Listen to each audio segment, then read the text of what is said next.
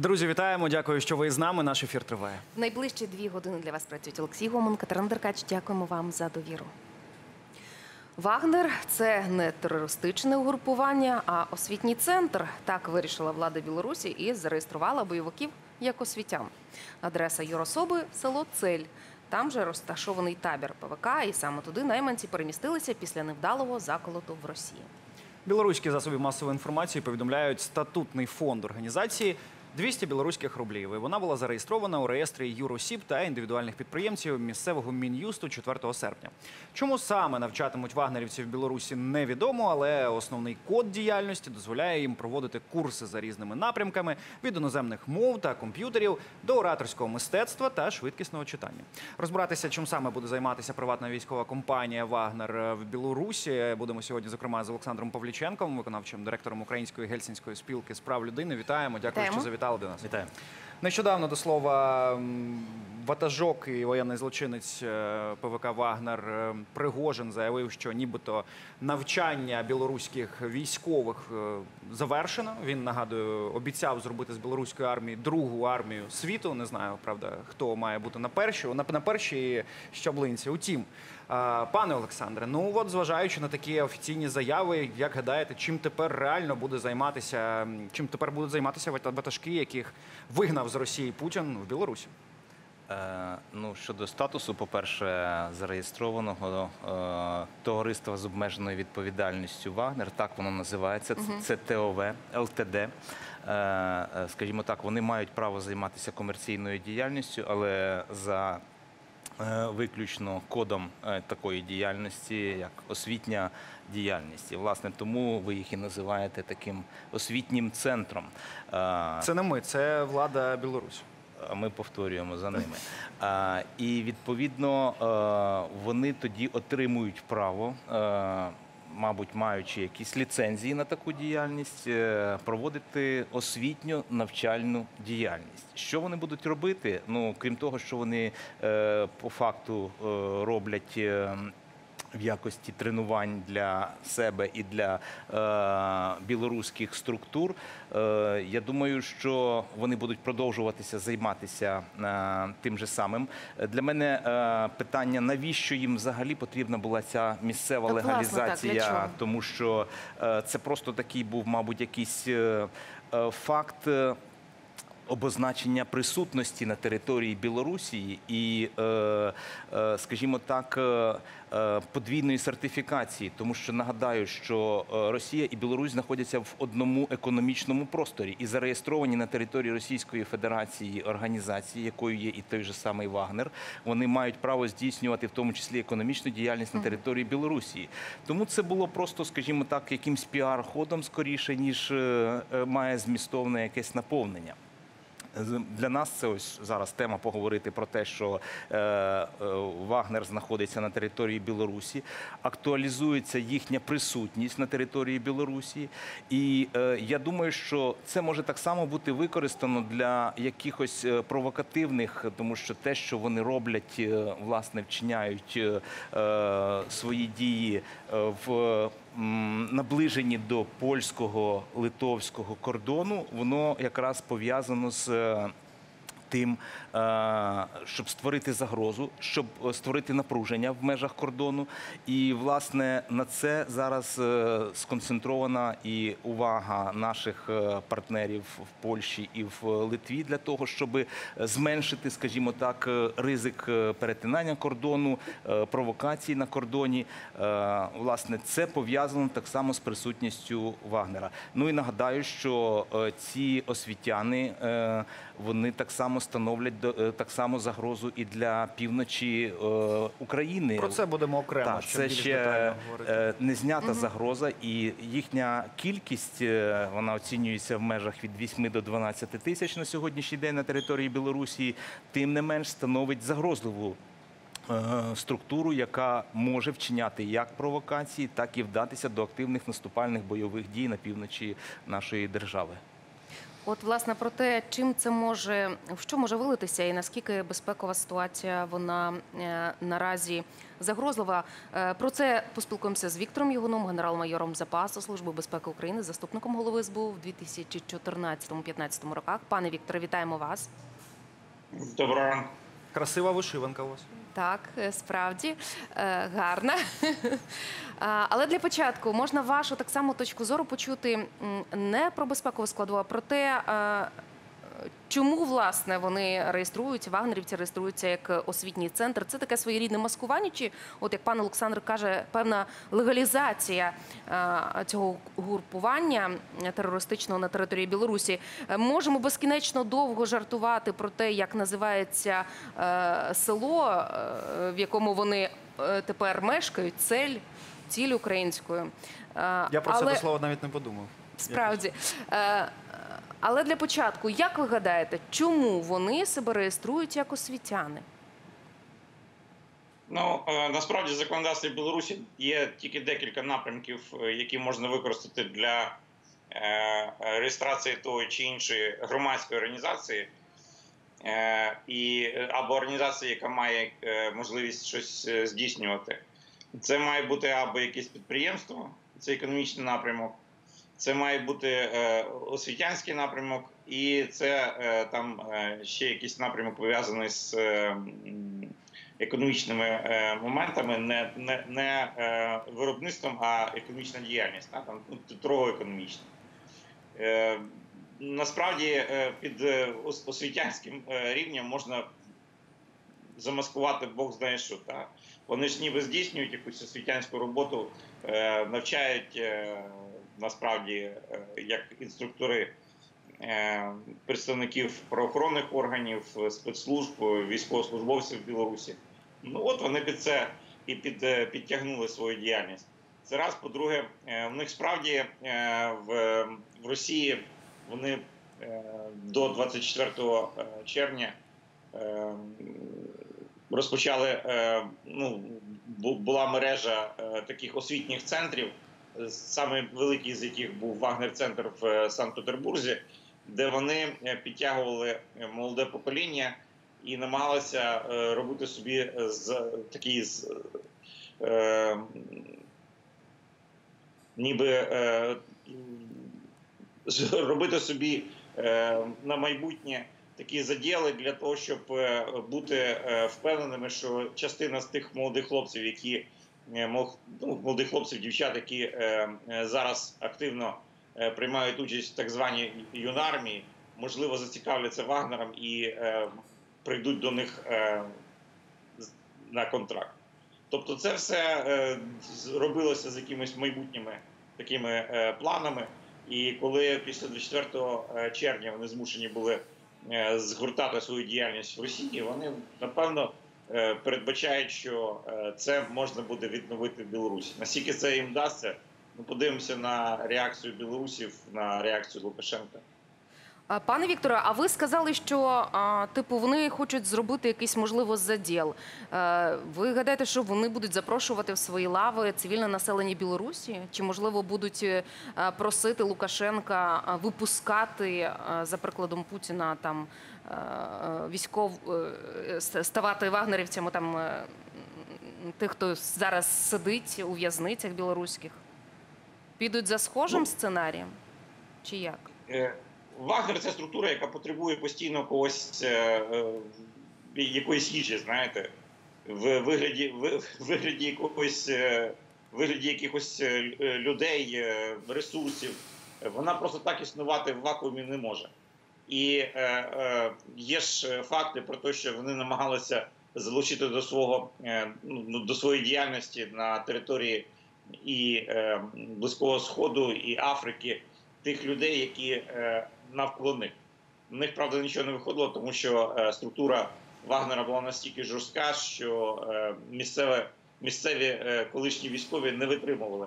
Е, бу- був же факт, що е, серед них там е, знаходили і представників е, колишніх афганських е, а- афганців, е, які служили в, свой- свого часу в їхній армії. Але це все не, не, не пішло далі, ніж експериментів. Тому їм потрібно е, е, тих людей, які е, ну, пенсіонерів, е, відставників. В Білорусі е, немає зараз загальної мобілізації. Є можливість е, дивитися на е, тих людей, які не бажають підзаробити грошей. Е, І е, там, е, якщо контракт в, якихось країнах, ну в першу чергу це все ж таки йде справа про Африку, то гроші значні. Єдине, що зараз справді в Вагнера величезна проблема це відсутність державного фінансування, на якому вони трималися з Росії, і поки що не налагодження нормального фінансування з Білорусі. Так, а отут А- е, одразу цікаве питання. Пан, я перепрошую, пане Вікторе. Так, а, ну ми розуміємо, що найманці так це в першу чергу про гроші, не про ідею, там не про якусь е, не знаю пропаганду. Це про гроші. Якщо зараз Росії з Росії ці це джерело так доходів, воно перервалося, то ну наскільки по кишені собі там Лукашенко е, утримувати таку приватну військову компанію, чи за рахунок яких коштів нині взагалі існують вони? Ну, вони існують за ті кошти, які вони заробляють в Африці. Це основне джерело е, існування. І, Тобто в е, них можливо, внутрішній ще бюджет є, правильно якийсь ще? внутрішній бюджет, так. І я е, не виключаю, що частково е, вони продовжують отримувати гроші з російського бюджету. Чому? Тому що присутність вагнерівців в Африці дуже вигідна Росії. Е, Це всі розуміють, що це е, дестабілізація ситуації в Центральній Африці і намагання відволікти частково е, європейські країни, в першу чергу це Францію, Німеччину від е, України, Е, і таким чином е, постійно тримати на напрузі частково е, певну певне суспільство е, в світі. Тому е, е, напряму Росія не може там бути присутньою, а мати проксі е, в вигляді Вагнера це дуже вигідно. І за це е, вона може так само платити гроші. Гроші, правда, не такі великі, як е, було раніше, але хоч якісь. І відповідно контракти з е, тими урядами, які фактично на штиках Вагнера зараз тримаються, і які віддали їм в, в опіку в концесію, я не знаю, як це назвати, певні корисні копалини, це в першу чергу діаманти і золото. Ну от про це про діяльність ПВК Вагнера на території, території Африки ще поговоримо детальніше згодом. Ігор Тишкевич тим часом доєднується до нашого ефіру, аналітик Українського інституту майбутнього. Вітаємо, пане Ігоре. Доброго дня. Я перш ніж перейти до теми вагнерівців, хотів з вами поговорити про останнє інтерв'ю е, білоруського диктатора Олександра Лукашенка. Там було кілька цікавих тез. По-перше, Лукашенко нарешті визнав, що збройні сили Російської Федерації зайшли в Україну з території Білорусі. А по-друге, розкрив так би мовити таємницю Полішинеля про те, що мовляв Лукашенко не знав е, про те, що Росія готує повномасштабне вторгнення в Україну, і буквально за кілька днів до 24 лютого 2022 року, нібито Путін попросив Лукашенка прикрити його раптом що мовляв, не дай Боже щось трапиться. Ти ж мене, Саша, прикрий, будь ласка. Так, от сказав Олександр Лукашенко. Е, хотілося б основні е, такі вашу реакцію на от основні тези, які ми почули в останньому цьому інтерв'ю е, Лукашенка. Можливо, ви звернули на щось увагу конкретно. Питання не, не по цьому інтерв'ю, воно не є ключовим. Ключовим є візит міністра оборони Китаю до Білорусі. І ключовим, є- ключовим є ключовими є фрази того ж самого Лукашенка, якщо ми аналізуємо його, які він сказав китайцю, де і про безумовну повагу територіальної цілісності. Тут е, Україні варто згадати про Крим, про все інше. І про необхідність переговорів без будь-яких попередніх умов, і про, ну, начебто, е, е, прагу Білорусі до фактично мирного врегулювання. Де факто станом на сьогодні Лукашенка спробує, ну можна сказати так, долучитися до пула держав, які обговорюють ну, близько до китайської формули участі в а, переговорах по врегулюванню або по приносу мира в Україну. А, цікаво це тому, що китайська позиція, як продемонстрував візит китайської делегації в Саудівську Аравію, вона не є статичною. Це означає, що колись обговорювали так звану формулу миру Китаю, але вона не є константою. Китай готовий її змінювати, шукаючи варіанти, які влаштовують саме його. І такому форматі для Лукашенки це одна з можливостей, ну, певною мірою дистанціюватися від Російської Федерації. Що, що він буде робити надалі найближчим часом, тому що залежність від Росії, вона ну, дуже дуже істотно а, зросла з 20-го року, особливо і в 22-му. А, з іншого боку, активність Кита... Китайська Народна Республіка, яка спробує все ж таки при- образно говорячи, дістати Білорусь з кишені у Путіна. Це і запрошення в ШОС, це і декларація про рівень політичної співпраці, яка є вищою ніж у Російській Федерації. Це і розвиток додаткових програм співпраці, які швидше за все зараз підуть. І фактично візит китайського інспектора, тому що а, керівник, керівник Міністерства закордонних справ, це окрім всього іншого, це військово-політична рада, і можна сказати, що так, це інспекція, що було зроблено, і що може бути зроблено надалі. І фактично так офіційний Мінськ спробує зіскочити з російської пастки в обіймі Китаю. Е, Панове, а мене от насправді не дає спокою е, все ж таки оця фраза пана Віктора про те, що е, ПВК Вагнер на території Білорусі він буде пробувати якось можливо посилити свої резерви і свої ряди за рахунок цивільних чи інших білорусів. Пане Олександре, як ви гадаєте, чи справді знайдуться серед білорусів охочі е, приєднатися до ПВК Вагнер, і в що це е, зрештою може вилитися? Можливо, там взагалі якісь соціальні процеси запустяться, які е, про які ми можемо тільки здогадуватися зараз. Звичайно, е, ті, хто захоче приєднатися на території Білорусі, будуть питання про те, яким чином цей процес буде організований, чи дозволить Білорусь це організувати в межах е, отієї ситуації, в якій вона знаходиться, фактично зв'язаними руками е, Росією і повністю підконтрольною Росією. Тому тут е, говорити треба про те, що, по-перше, е, слід е, ставити питання взагалі про перебування. Цієї е, воєнної кампанії на території Білорусі і е, Лукашенко розуміє ну факт цієї бомби, фактично, яка заряджена, і може і підірвати його існування в будь-який момент, і е, власне його балансування е, Лукашенка на межі е, не скотитися повністю під, е, скажімо, ну зникнути під, під Росією, а відігравати хоч якусь маленьку самостійну роль і відповідно. Зберігати формально стан неучасника е, бойових дій, що йому до сьогоднішнього дня вдавалося. Нагадаємо, що він запевняв, що з території Білорусі не будуть е, вестися бойові дії, хоч ми знаємо і про літаки, які злітають з території Білорусі, і про ракети, які запускаються, і Вагнер, який зараз знаходиться. Ну і широкомасштабне вторгнення почалося так само з території Білорусі через північ е, Київської області. Але разом з тим на сьогоднішній день йому вдається ще балансувати ось на е, цьому рівні з тим, щоби можливо. Е, е, не допустити статус учасника е, і не перетворити е, війну Росії проти України в третю світову, тому що якщо Білорусь буде рахуватися ще однією державою, яка бере участь в цій війні, це вже буде фактично е, широкомасштабний конфлікт, який буде наближатися до світової війни. Е, і тут.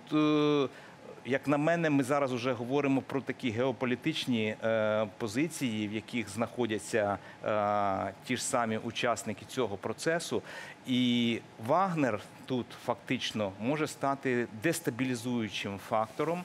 І питання щодо того, яким чином взагалі е, має бути і реакція світу, і е, післявоєнна е, ситуація з регулюванням її щодо отаких, зокрема, інструментів ведення війни. Пане Гаре, ви як ніхто напевно знаєте про настрої, які зараз панують на території Білорусі, а, в силу того, що там тепер оселилися вагнерівці. До вас те саме запитання: чи справді знайдуться ті серед білорусів, хто готовий буде приєднатися до лав е, цієї терористичної організації, і хто ці люди? Це звичайні цивільні, що прагнуть грошей, якогось там е, не знаю зиску, чи можливо це можуть бути е, ті самі ув'язнені, яким пообіцяють, ми вас випустимо, заплатимо, тільки воюйте на нашому боці. Ну, Давайте почнемо з того, що будь-яка приватна військова компанія вона веде рекрутинг серед ну, тих, хто хоче воювати, хоче швидкого заробити. Якщо ми говоримо про ПВК Вагнер, то є історія до формування саме фронтових підрозділів, підрозділів для виконання завдань в Україні для війни проти України. Вони спробували на початку 22-го року формувати людей для диверсійно-розвідувальних в тому числі на території Білорусі, в тому числі на території Росії. І там дуже цікавий був підхід е, щодо відбору з точки зору національності. Це, були українці, які виїхали на територію Росії, це були громадяни Молдови та громадяни Білорусі. А, Чому за- саме вони, як гадаєте? Чому саме ці а, національності? е, Якщо це диверсійно розвідувальні групи, ці трьом категоріям дуже просто, ну скажімо так, бути непомітними на території України, тому що етнічно росіяни вони, як не парадоксально, більш помітні. Але коли почалося формування, скажімо так, саме фронту, фронтових підрозділів, так це було звичайно рекрутингу вже не вистачало, і почався найм ув'язнених. Ну, В принципі, зараз це перехопила Російська держава з точки зору вербування в Білорусі. А, почну з кінця. А навіщо в'язні? От з точки зору виконання завдань ПВК Вагнером, зараз їм, в тому числі білоруські в'язні, не потрібні, Мгм. навіть якщо б це було, була б згода чи бажання того ж самого керівництва Білорусі. Хоча таке, таке навряд, навряд чи можливо на сьогоднішньому етапі. Тому що ПВК Вагнер це не тільки і не стільки Україна, ще раз. А, я вже чув, що про це говорили. Ключовий, ключовим ринком для Пригожина є Африка. І якщо ми говоримо про особ- особовий склад цієї приватної військової компанії, його умовно можна розділити на три категорії. Перша категорія це ну, умовно постійні працівники, або там еліта, як, як будь- будь-як називають. Це люди, які мають контракт на якусь місію, і між контрактами вони мають пев- певну суму коштів, ну як соціальні виплати чи заробітна плата від ПВК. Ну, докладніше від структур, тому що як єдиний ПВК не існує. Друга частина так звані ветерани. Це ті, хто декілька разів брав участь в місії. І третє це ну, фактично м'ясо, яке, яке набрано для бойових дій на фронті, в першу чергу в Україні.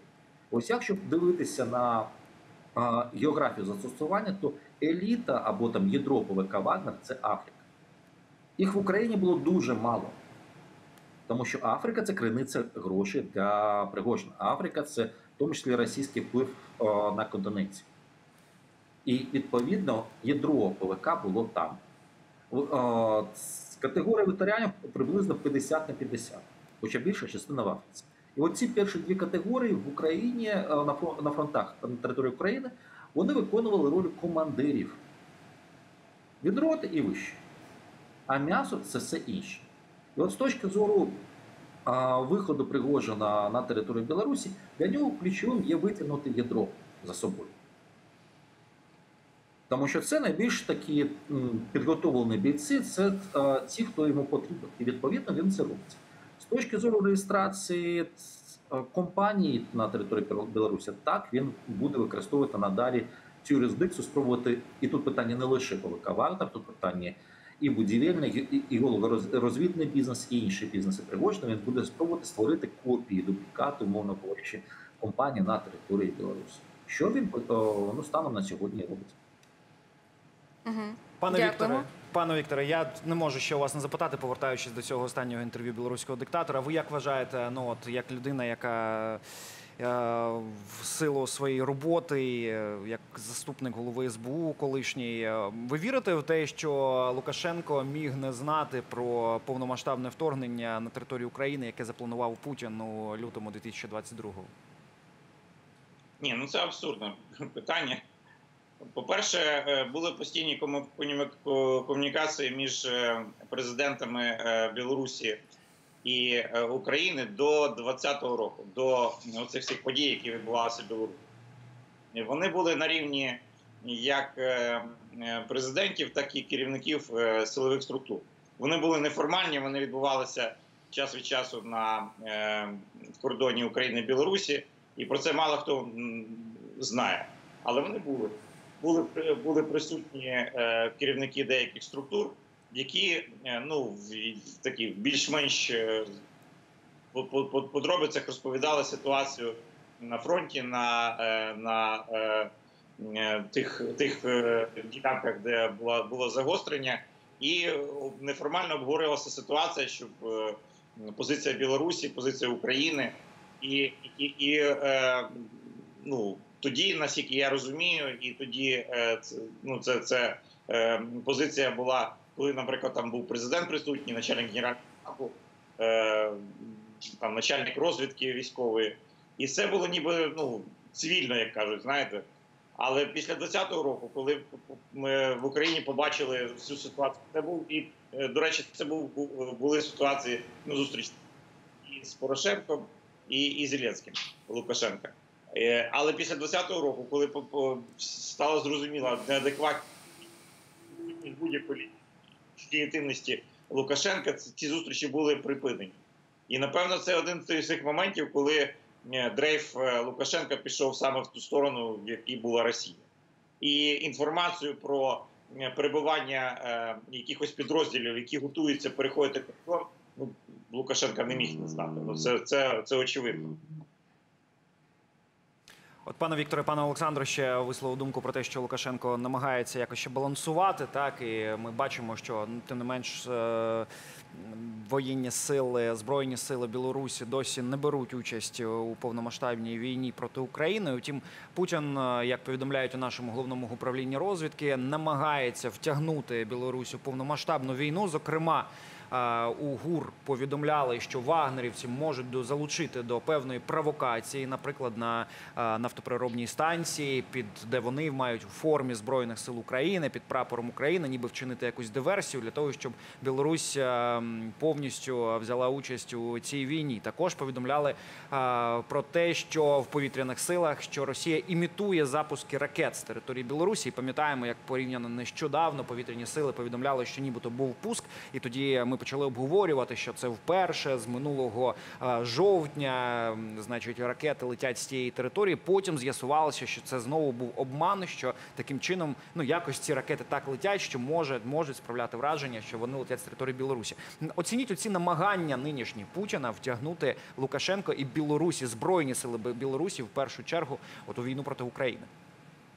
Ну, це якраз і є то балансування між е, можливістю е, постійно бути е, потрібним Путіну і е, намаганням на майбутнє бути, е, не знаю, в колі миротворців.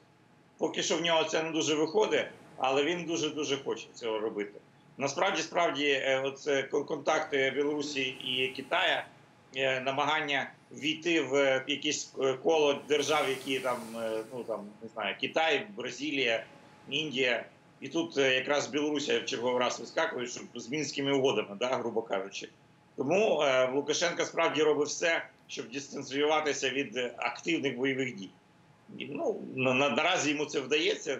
Хоча толку від того, для як для мене, це немає ніякого незначення, тому що Білорусь однозначно, ну керівництво Білорусі, військові Білорусі її спецслужби повинні в, в тому, що відбулося 24 лютого 22 року. Ну а наскільки нам важливо, щоб е, білоруси, все ж білоруські збройні сили не були втягнуті в війну? Ну ми розуміємо, що можливо для Путіна, якому там не вистачає людей для того, щоб е, кидати їх е, так на позиції збройних сил.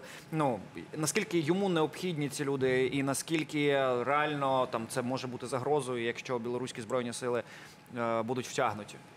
Самі по собі білоруські збройні сили не е, спроможні е, нанести значних якихось е, втрат Україні, особливо територіальних, але разом з тим у взаємодії з російськими військами за їх підтримки це справді досить небезпечна для нас ситуація, і значні зусилля ми змушені були ми зараз змушені тримати значні сили на кордоні з Білорусі. А так ми змушені були б ще й протидіяти е, прямій е, військовій загрозі. Тому е, знаєте, на, на, на даному етапі поганий мир краще ніж хороша війна. Угу. Про ймовірність стягнення Білорусі поговоримо з нашими гостями і згодом, але спершу дозвольте повернуся все ж таки до вагнерівців. Поки не ясно, яку територіальну загрозу вони становлять війська Вагнера в Європі. Однак уряд США бере до відома провокаційні дії та войовничу бойову риторику Мінська. Таку заяву зробив координатор стратегічних комунікацій Ради з нацбезпеки Сполучених Штатів Америки Джон Кірбі. Again, we're watching this closely. It's not really clear. Насправді не зрозуміло, де саме знаходяться всі хлопці Вагнера. Знаємо, що деякі з них поїхали в Білорусь. Знаємо, що деякі поїхали в Африку. Ми вважаємо, що певні контингенти ймовірно все ще перебувають в Україні або поблизу, але нам точно невідомо, які саме цифри. І нам не зрозуміло, яку територіальну загрозу вони несуть, принаймні в Європі. Вони продовжують викликати значне занепокоєння на африканському континенті, продовжують дестабілізувати тамтешні уряди, підтримувати терористів і тому подібне. Е, Пане Олександре, от е, білоруський гаюн видання воно е, стверджує, що нібито вагнерівці насправді їхня роль інакша, не силові якісь провокації, не силові якісь дії на кордоні з країнами НАТО. а Насправді просто така інформаційно інформаційне накалювання і використання їх саме для оцих інформаційних якихось дій, хвилювань, провокацій. Ви погоджуєтесь з тим? На для чого вони е, наразі чинять певні дії на кордоні з тією ж Польщею, країнами Е, Балтії? Хлоп- Хлопці Вагнера, як каже хлопці Джон Вагнера. Е, Росія вдається до так званих ІПСО, до е, різного типу спецоперацій, е, які, е, на жаль, не завжди прослідковуються і е, припиняються від початку.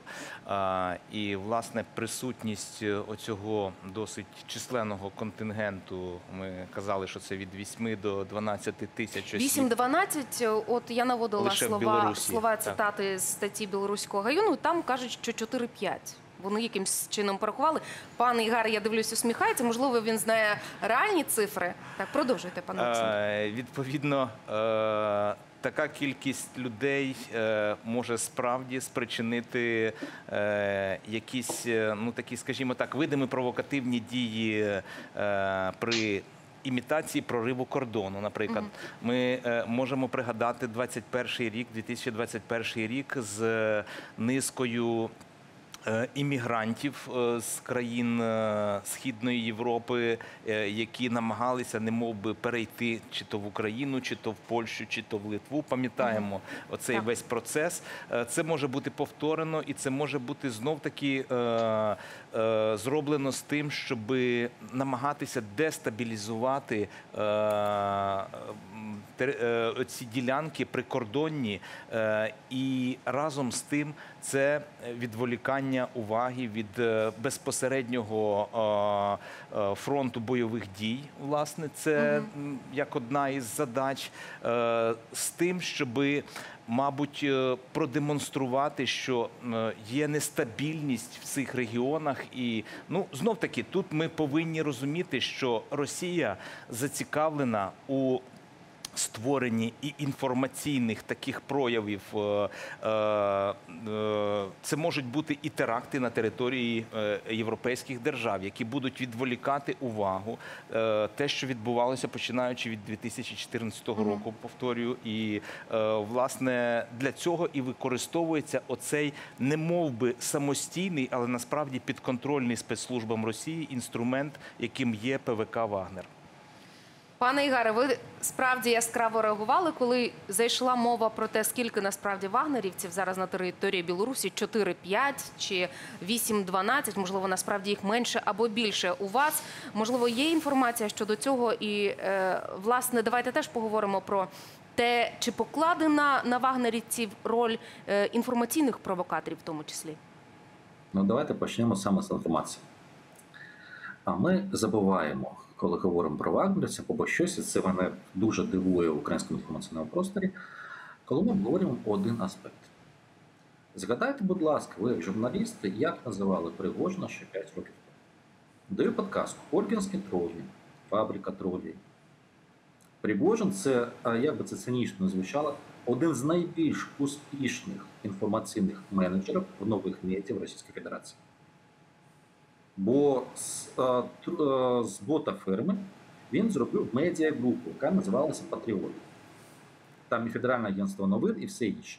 І ця мед- медіагрупа ще рік тому а, в презентації для російських політтехнологів вона говорила, що вони мають, начебто, національні, ну докладніше, медіа, які мі- мімікрували під національне в Україні, в Білорусі, в Казахстані. В Україні, до речі, СБУ два, два таких ресурси закрили на е, 22-му році. Вагнер сказали, що о, Пригожин сказав, що дещо більше. Не знаю, чи вони закрили самі.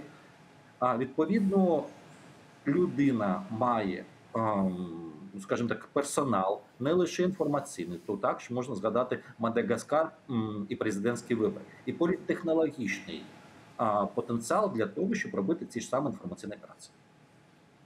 І те, що сьогодні це використовується з одного боку в інтересах Росії, з другого боку в інтересах Пригожина, це очевидно. З точки, з точки зору а, чисельності людей. 4 з 5 4,5-5 тисяч, ну там до 6 це ну, максимально скільки може бути перекинуто на територію Білорусі. Для того, щоб це зрозуміти, треба зайнятися арифметикою для третього класу. А, Пригожин а, говорив про те, що у нього а, на території України або на українському напрямі біля 25-30 тисяч.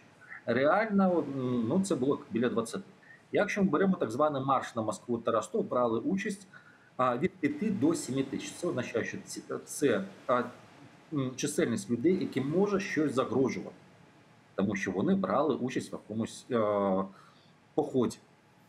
І це означає, що це ядро тих людей, яких можуть бути перекинути ще раз від 5 до 7. Ідемо далі. Легалізація через Міністерство оборони і от так, так званий компроміс. А, в Росії є два формати легалізації е, наймітів. Ну, вони їх називають добровольцями. Перший, перший формат, і це можна подивитися на в репортажах тих самих російських засобів масової інформації, коли було прийнято, це так звані договори між Міністерством оборони і отрядами добровольців.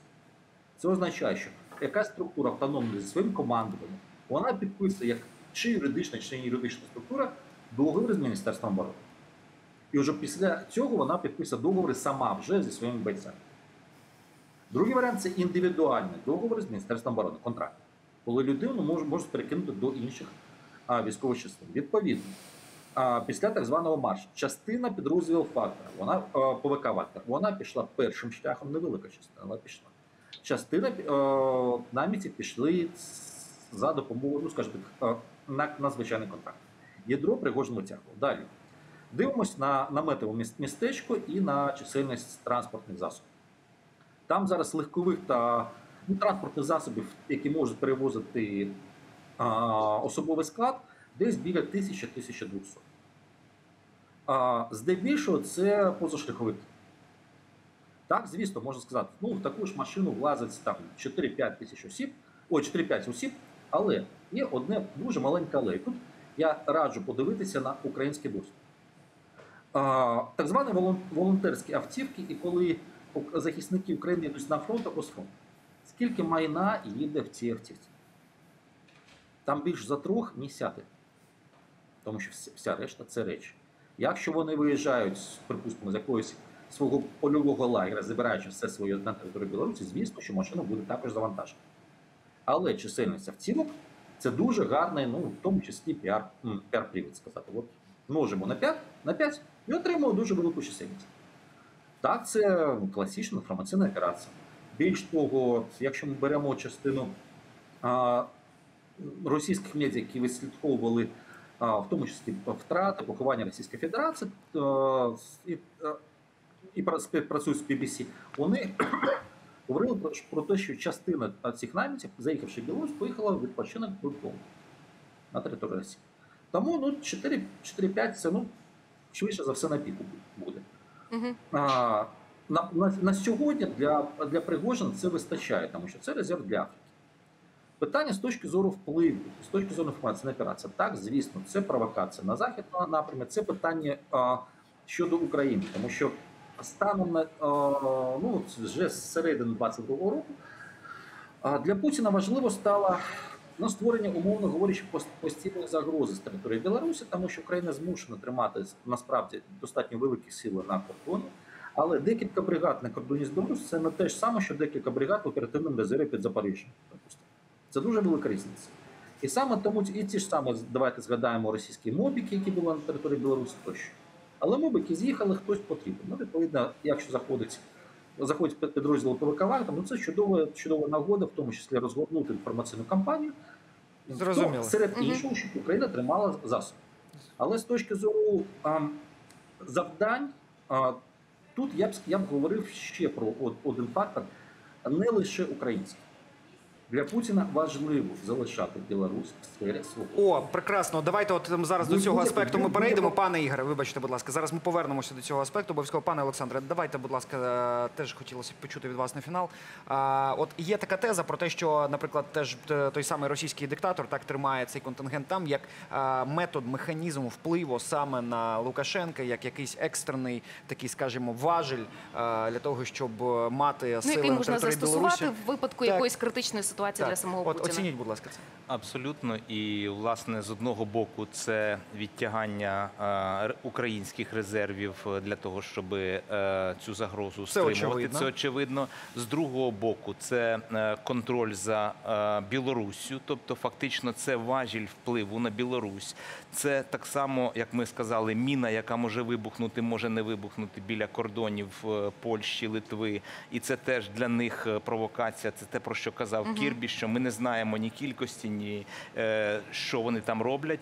І власне я тут абсолютно погоджуюся, що невеликою кількістю вони хочуть показати свою величезну присутність для того, щоб показати, що ця загроза вона є більшою навіть ніж видається, і тому тут, е, мабуть, варто е, дуже ретельно оцінювати з точки зору розвідувальних даних, що там насправді відбувається, і з тим, щоб ця загроза справді залишилася на рівні тільки загрози, а не реалізації. Дякуємо. Дякуємо, пане Олександре, що завітали до нас в студію. Олександр Павліченко, виконавчий директор Української гельсінської спілки з прав людини, долучався до нашого Дякуємо ефіру. вам надзвичайно.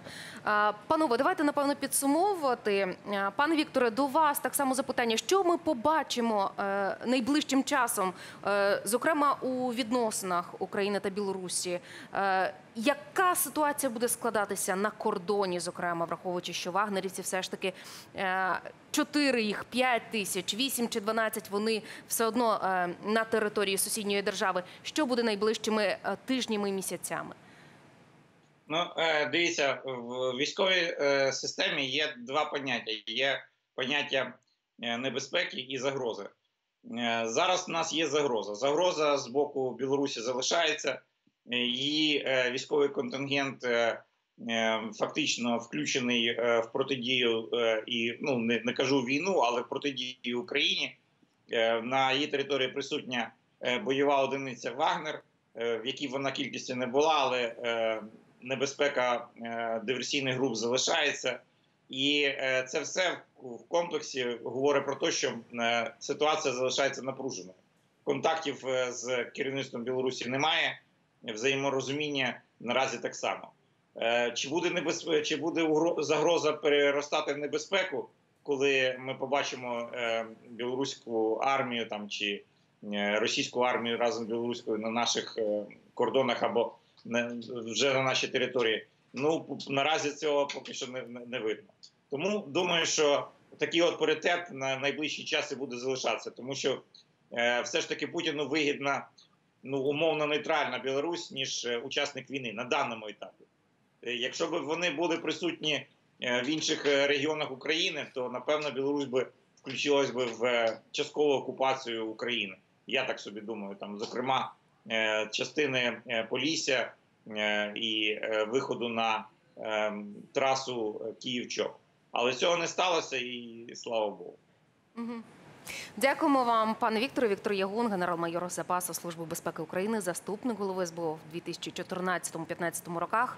Дякуємо вам за експертну думку. Надзвичайно. Пане Ігаре, повертаючись до вашої тези про вплив Росії за допомогою Вагнера на Білорусь, розуміємо, це ну там комплексне завдання стоїть е, перед бойовиками і перед їхнім ватажком е, Пригожиним. Утім, якщо говорити, от Ядерна зброя російська в Білорусі, ватажки Пригожина в Білорусі. Чи це, от поясніть, будь ласка, нашим глядачам більш детально, чи це реально от такий один з елементів впливу, механізму контролю е, білоруського диктатора?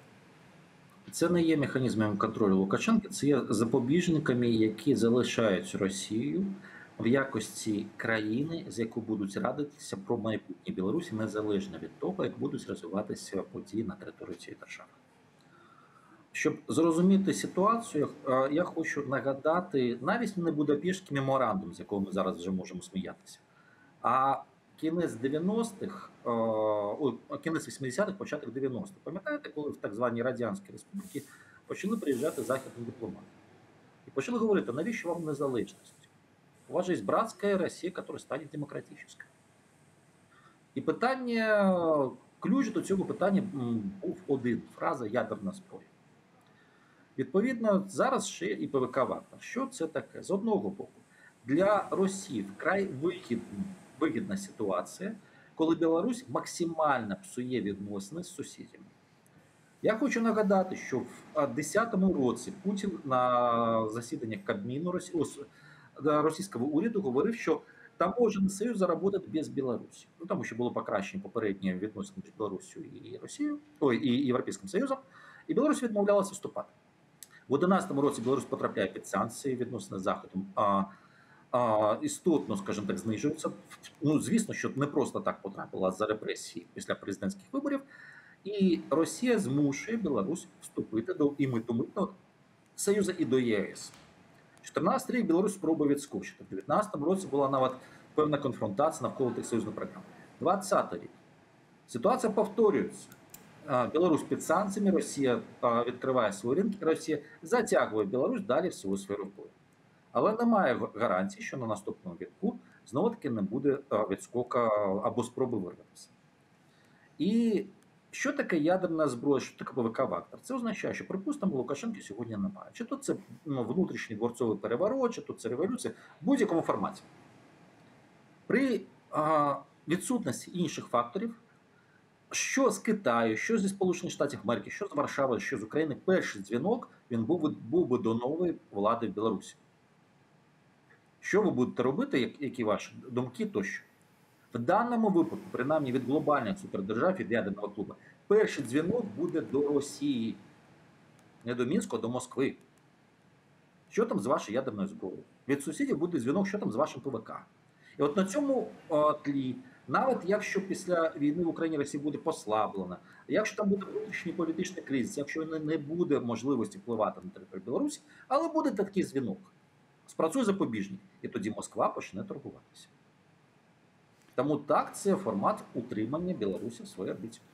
Дякуємо, що пояснили. Дякуємо, що долучилися до нашої сьогоднішньої розмови. Ігор Тишкевич, аналітик Українського інституту майбутнього, долучався до нас. Ми будемо рухатися далі. Звісно, будемо спостерігати за тим, як себе поводять е, найманці Вагнера у Білорусі. Розуміємо, що це створює загрозу не лише для України, а й для Європи. Так само і важіль е, тиску певного на режим Лукашенка. Що ж, е, вже переживали такі важкі часи, і ПВК Вагнер кожного разу якісь нові випробування. Побачимо, як вони впораються із цим. Тим часом давайте перейдемо до наступної теми і готові представити спікера. Федір Сердюк, співзасновник організації Пульс та Фест. Це, зокрема, компанії, які займаються такмедом, навчанням, такмедозабезпеченням а, бійців, зокрема на фронті, якісними аптечками, якісними турнікетами. Вітаємо вас! Вітаю. Надзвичайно приємно, що ви сьогодні з нами, пане Федоре. Давайте для початку, яка ситуація зараз із навчанням, зокрема з навчанням е, військових е, такмеду е, на фронті? Повторіть, будь ласка, першу частину питання.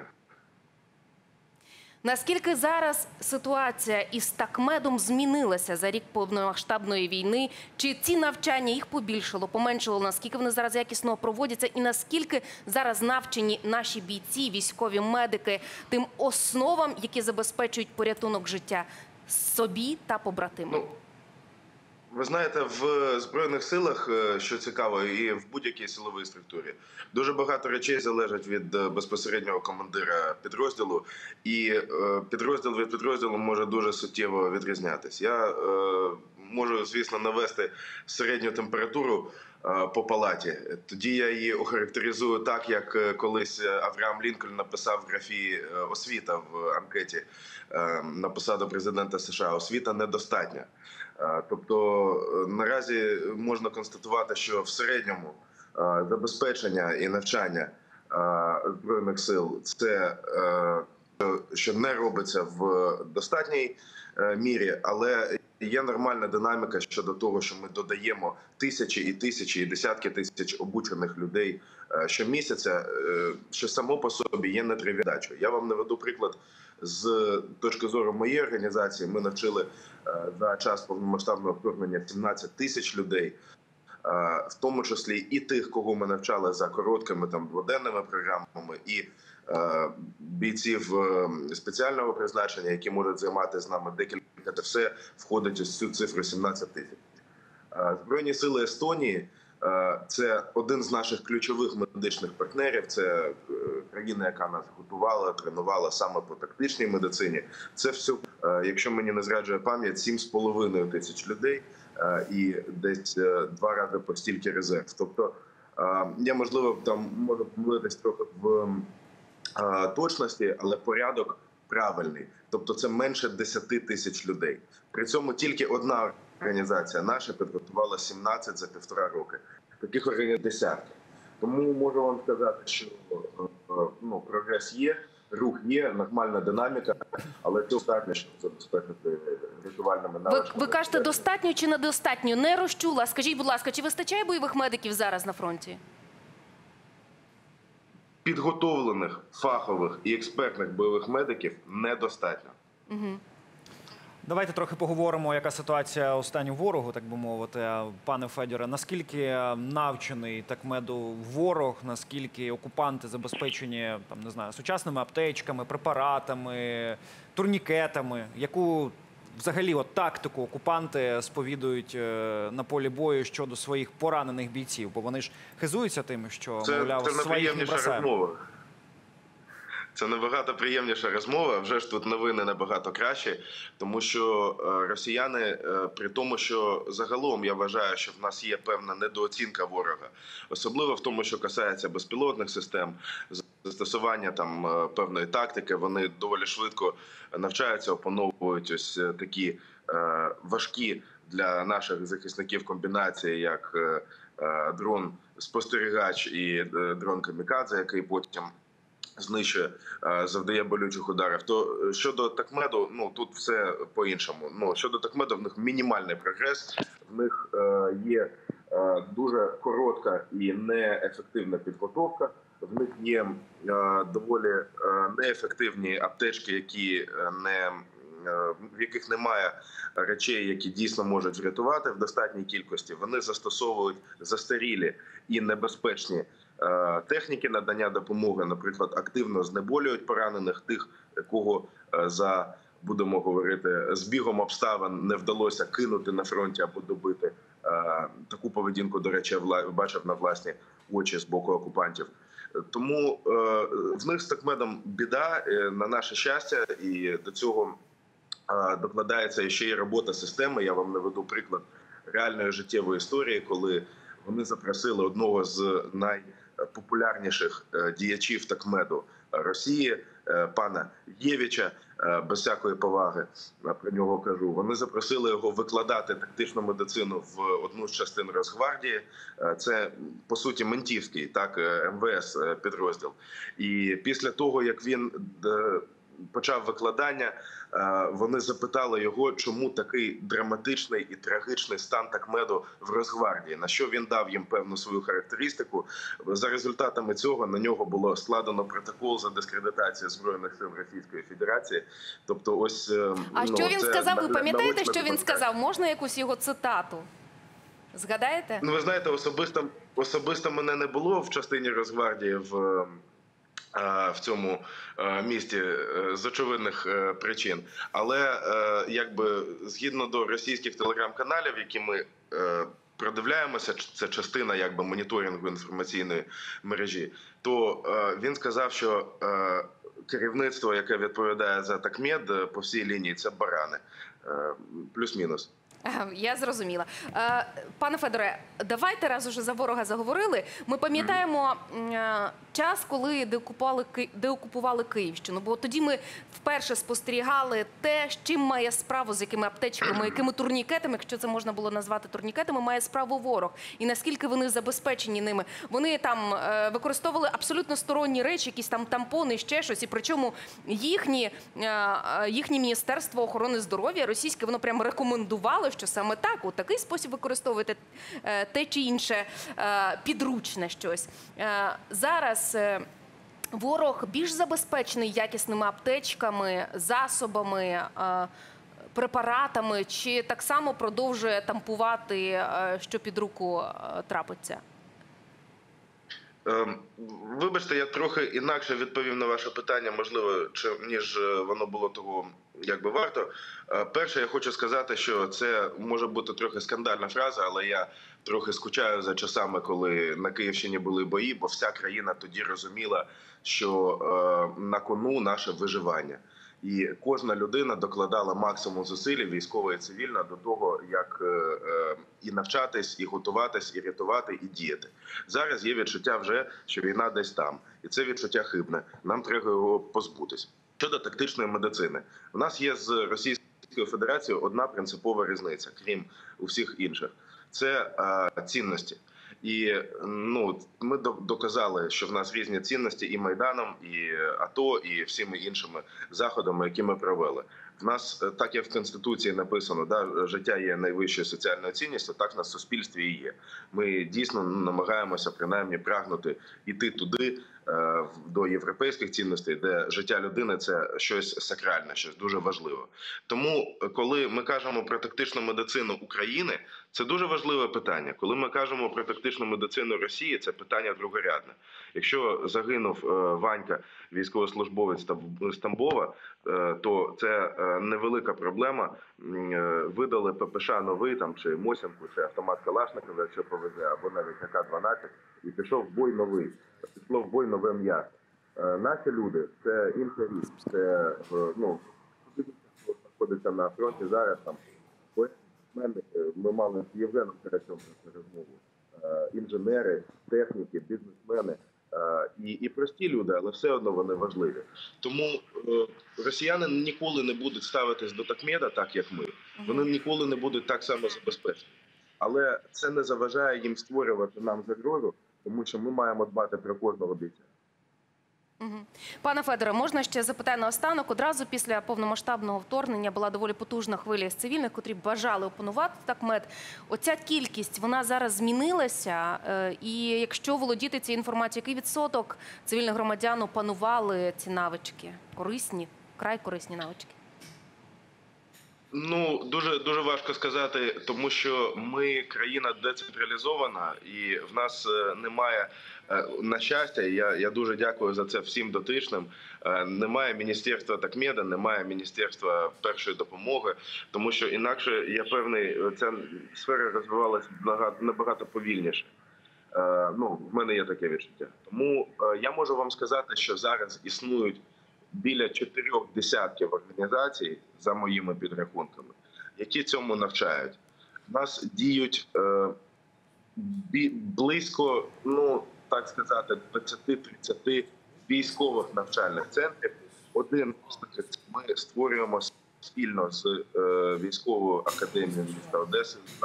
То, е, Ці центри додаються про інші, які створюються. Я не все можу казати, але це частина, якби такмет інтегрується в загальну військову підготовку, так як воно і має бути. Ти приходиш е, якби цивільною людиною в збройні сили. Ти виходиш після. Того, що раніше називалось КМБ, більш-менш підготовленою людиною, вмієш основи стріляти, ховатись, тактику, пересувати, зв'язок, тактична медицина. І я думаю, що ми до цього йдемо. Плюс в нас є потужна підтримка іноземних партнерів, десь більш якісна, десь менш, але їх навчальні потужності вони теж до, наших послуг. Це не є секретом. Пане Федоре, от ну, розуміємо, що цивільним краще підготуватися заздалегідь.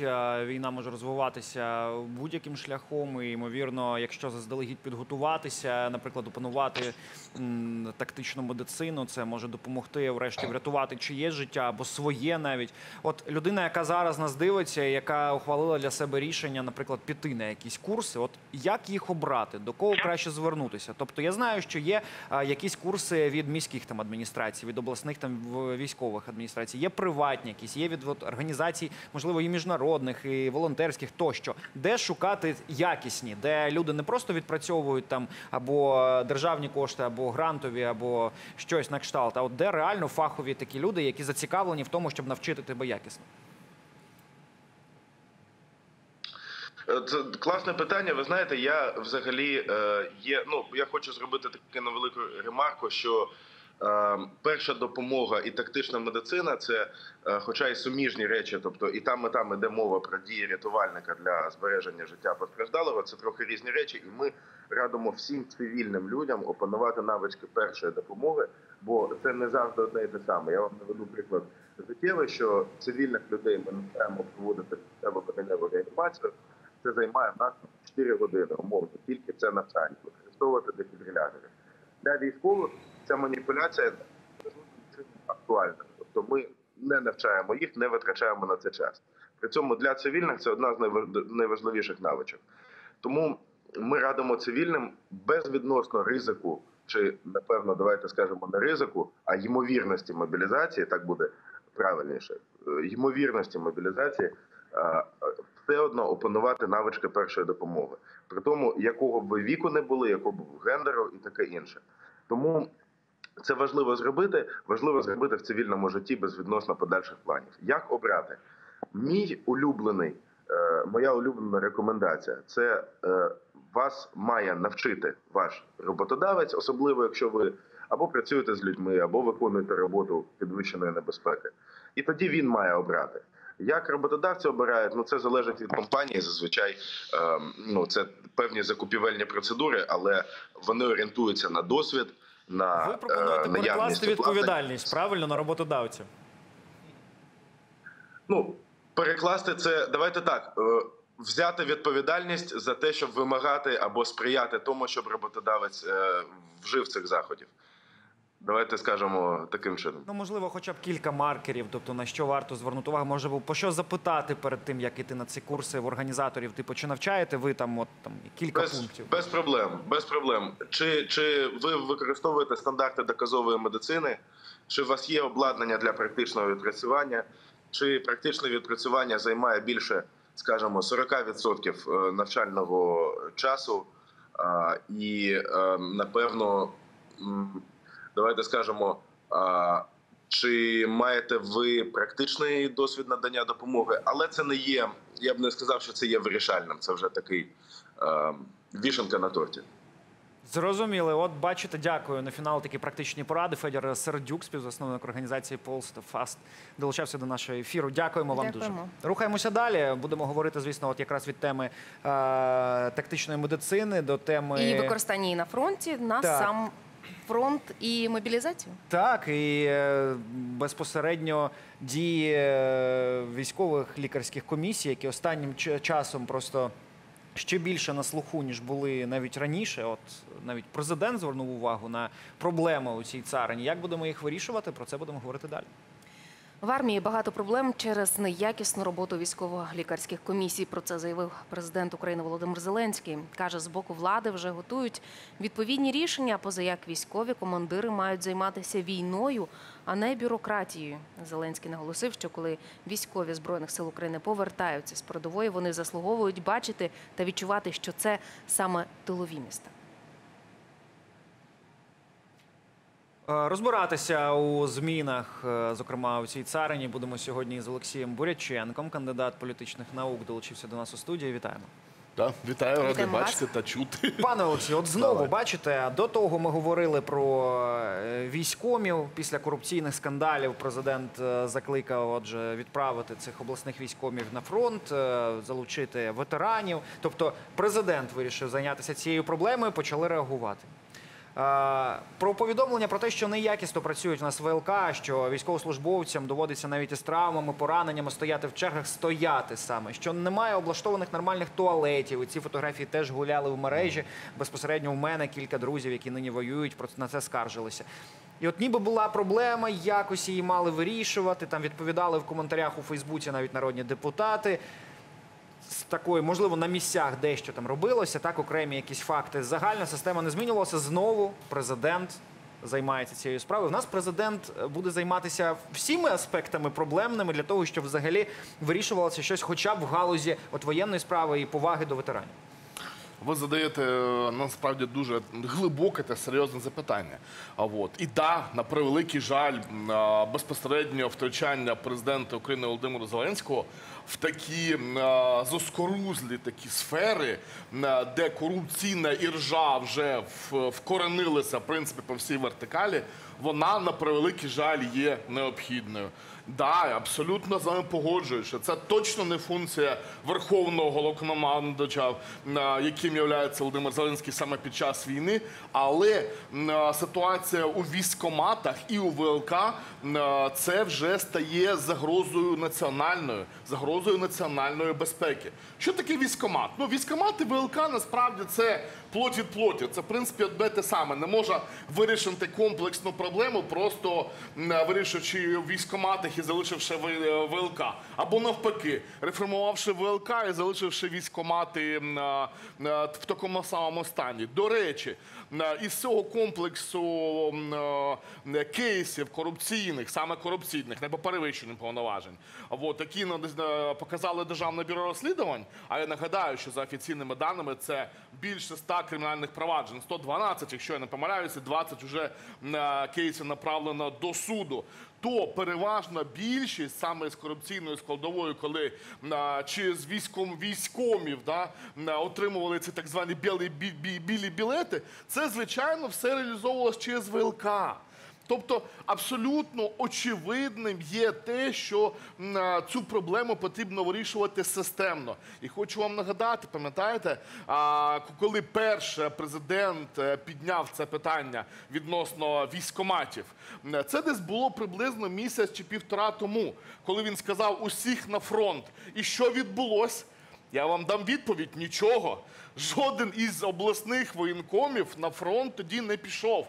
І тоді ми вже побачили, що президент разом з енергією суспільством, бачивши цей ну просто хвилю негативу від роботи військоматів, почали е, ефективно працювати правоохоронні органи, перш за все, державне бюро розслідувань, і всі вже побачили, що президент тоді був правий. От ну і потім, да, вже звичайно, за наслідками всіх цих шалених кейсів Борисових і так далі, по всій, майже по всій країні, вже було дійсно прийнято політичне рішення відправити всіх військомів на фронт. До речі, абсолютно вірно, тому що ну ми чудово розуміємо, що є світові практики, і світові практики кажуть, що да, використовувати потрібно хлопців, які пройшли бойові дії. Вони менше корупційно підвладні, так би мовити. Вони не за те фронт проходили, щоб зараз обілечувати всіх та розводити там корупційні дії. От в чому справа. От. Тому, як на мене, перший крок він зроблений абсолютно вірно. Цих е, воєнкомів відправили на фронт. На їх місце прийдуть чим, навчаться вони бюрократії. Це не проблема. От, але вони будуть чисті, вони будуть, вони будуть на контакт іти як з людьми, так і з органами місцевого самоврядування, з органами державної влади, ну і звичайно ВЛК. Ну добре, пане Олексію, ви ж самі сказали, що це система. Так, ну ну поставлять замість одного воєнкома, поставлять е, чоловіка, який пройшов е, бойові дії, так, ветерана. Але ми ж ви ж самі сказали, так що е, ВЛК, зокрема, брали участь, так, представники у цій корупційній схемі. І не лише ВЛК, там певні є там ще відділи, які ти маєш пройти для того, щоб отримати якийсь висновок. От зможе зламати новий воєнком е, з бойовим досвідом цю систему на місці. Дивіться, справа в тому, що знову ж таки і на комплексні загрози і проблеми мають бути комплексні відповіді. Ну, звичайно, мало просто заміни обласних е, військоматів навіть на, на чесних та принципових е, хлопців, які пройшли війну. Мало. Вони мають, е, але це, але це маркер. Це маркер, це психологічний маркер для всіх, що держава реагує.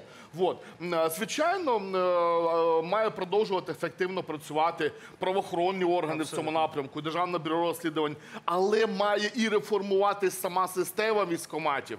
От. Має більше переходити в цифру. Це абсолютно очевидно.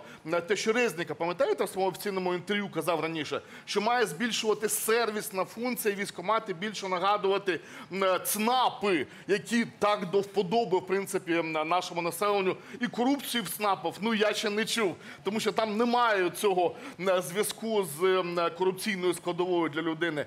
Ключова суть в наступному. Чому це загроза національної безпеки? Це мають чітко зрозуміти наші глядачі, тому що є фронт, а є тил. Між ними знаходиться військомат, частиною якого є ВЛК.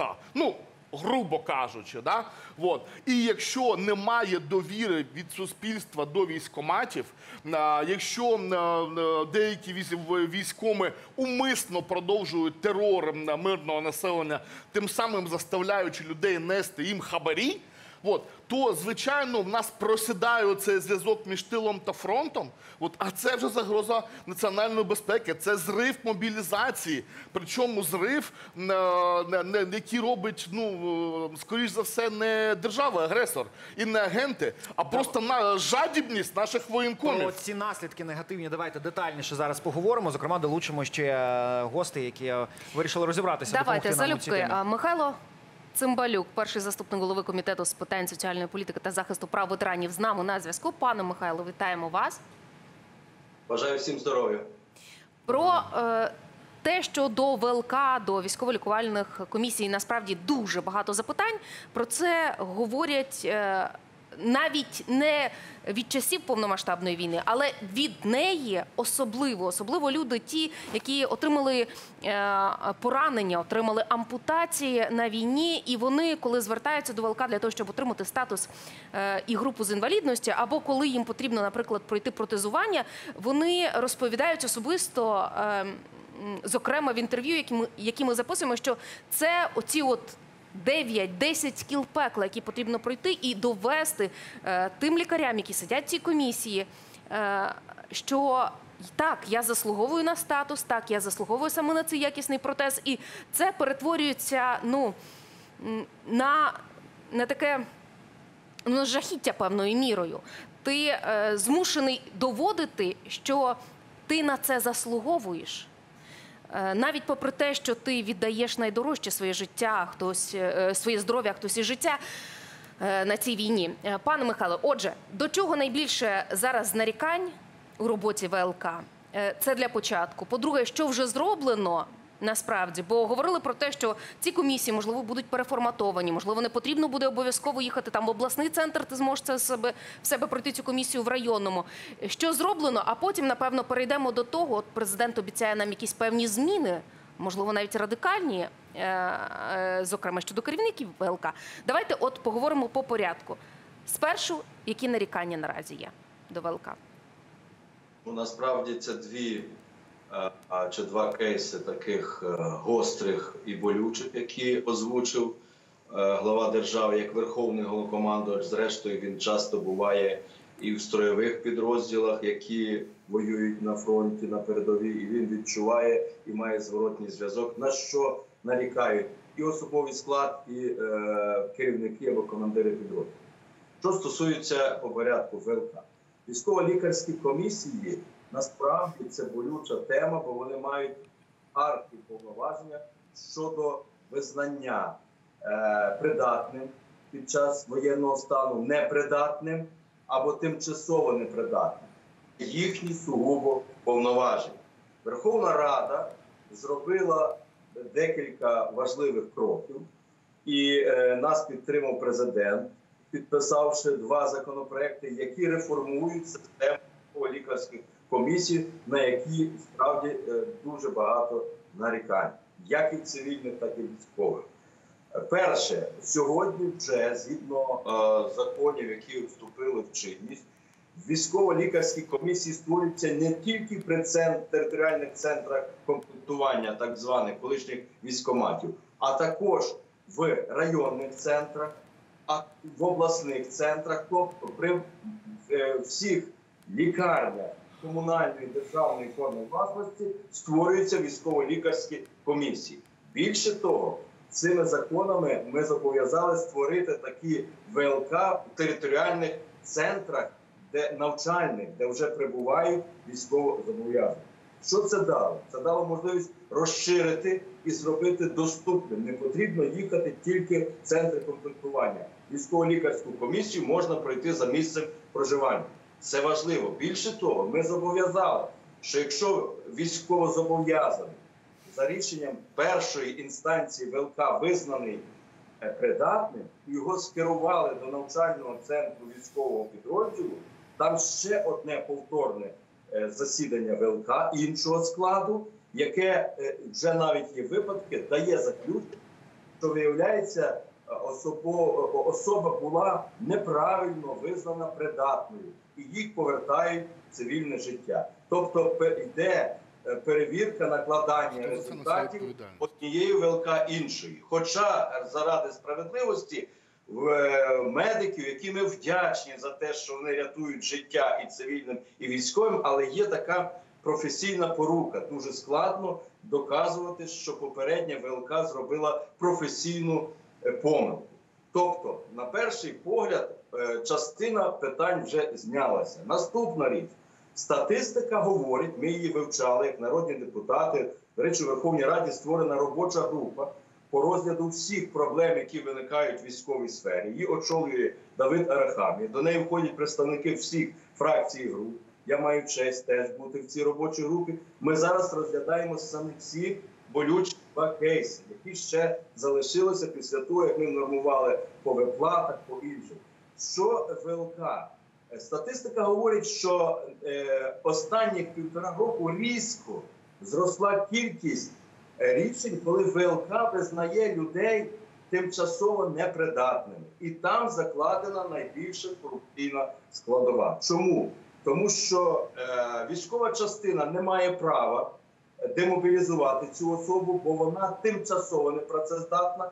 Півроку цей військовий чи військова має чекати до наступного засідання ВЛК, яке проводиться через півроку і через рік. І тільки після того кінцеве рішення. І ці, цей період до року часу людина військова отримувала мізерні копійки, очікуючи наступного ВЛК.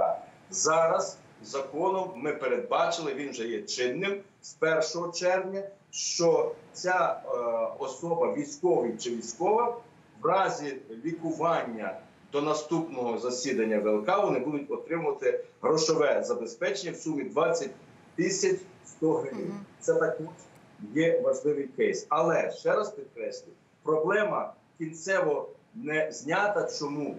На жаль, е- ВЛК тісно пов'язана пов'язана з іншим цивільним органом, який визначає і надає групу інвалідності. Бо це не повноваження військово-лікарської комісії. Так, це так звані МСЕКи, які теж потрібно. Пане Михайле, а от хто має відповідати? От ви кажете про те, що так, є маса випадків, коли, наприклад, треба е, е, з'ясов- з'ясовується, що якась довідка про те, що ти не повносправний, що ти не можеш проходити військову службу, що вона видана фіктивно. Або коли е, попередня е, лікарська комісія насправді е, відпрацювала непрофесійно.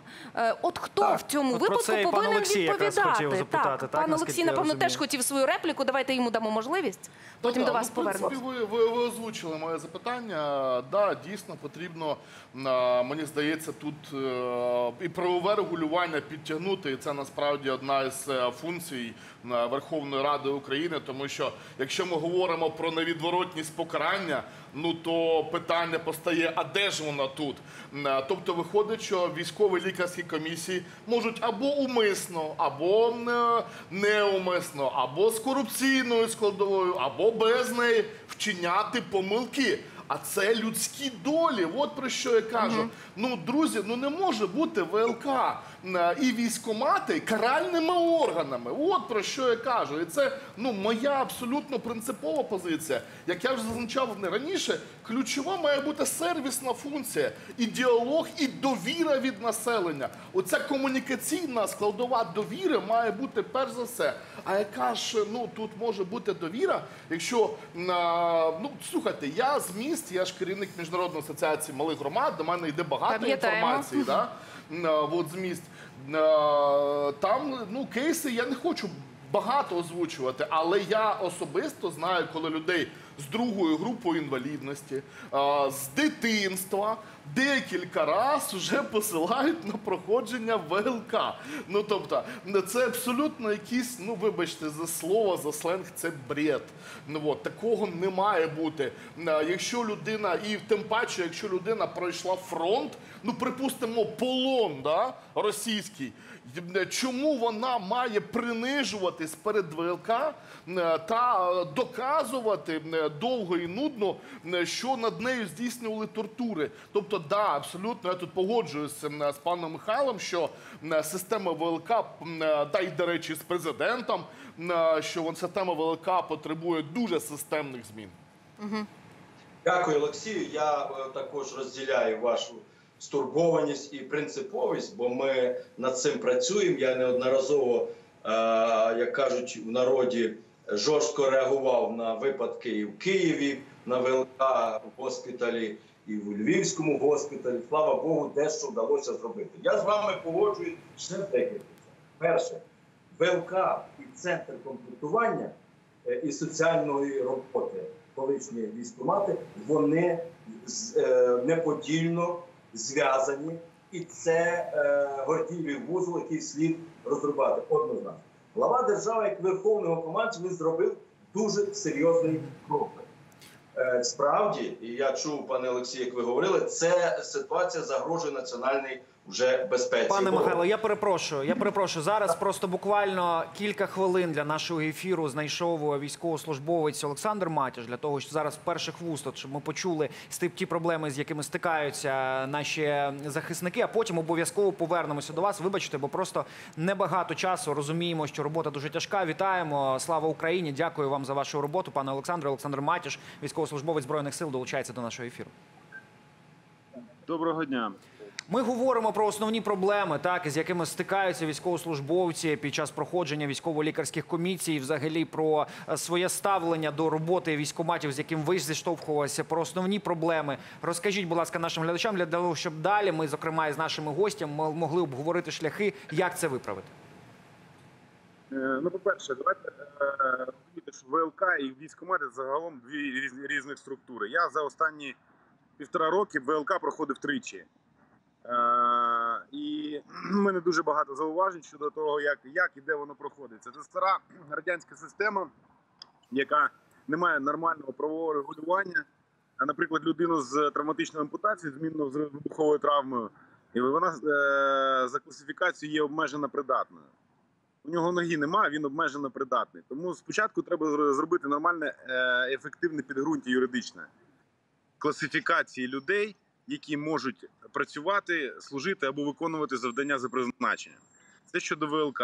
Я був в ВЛК у декількох е, шпиталях, е, десь краще, десь гірше, але це совок.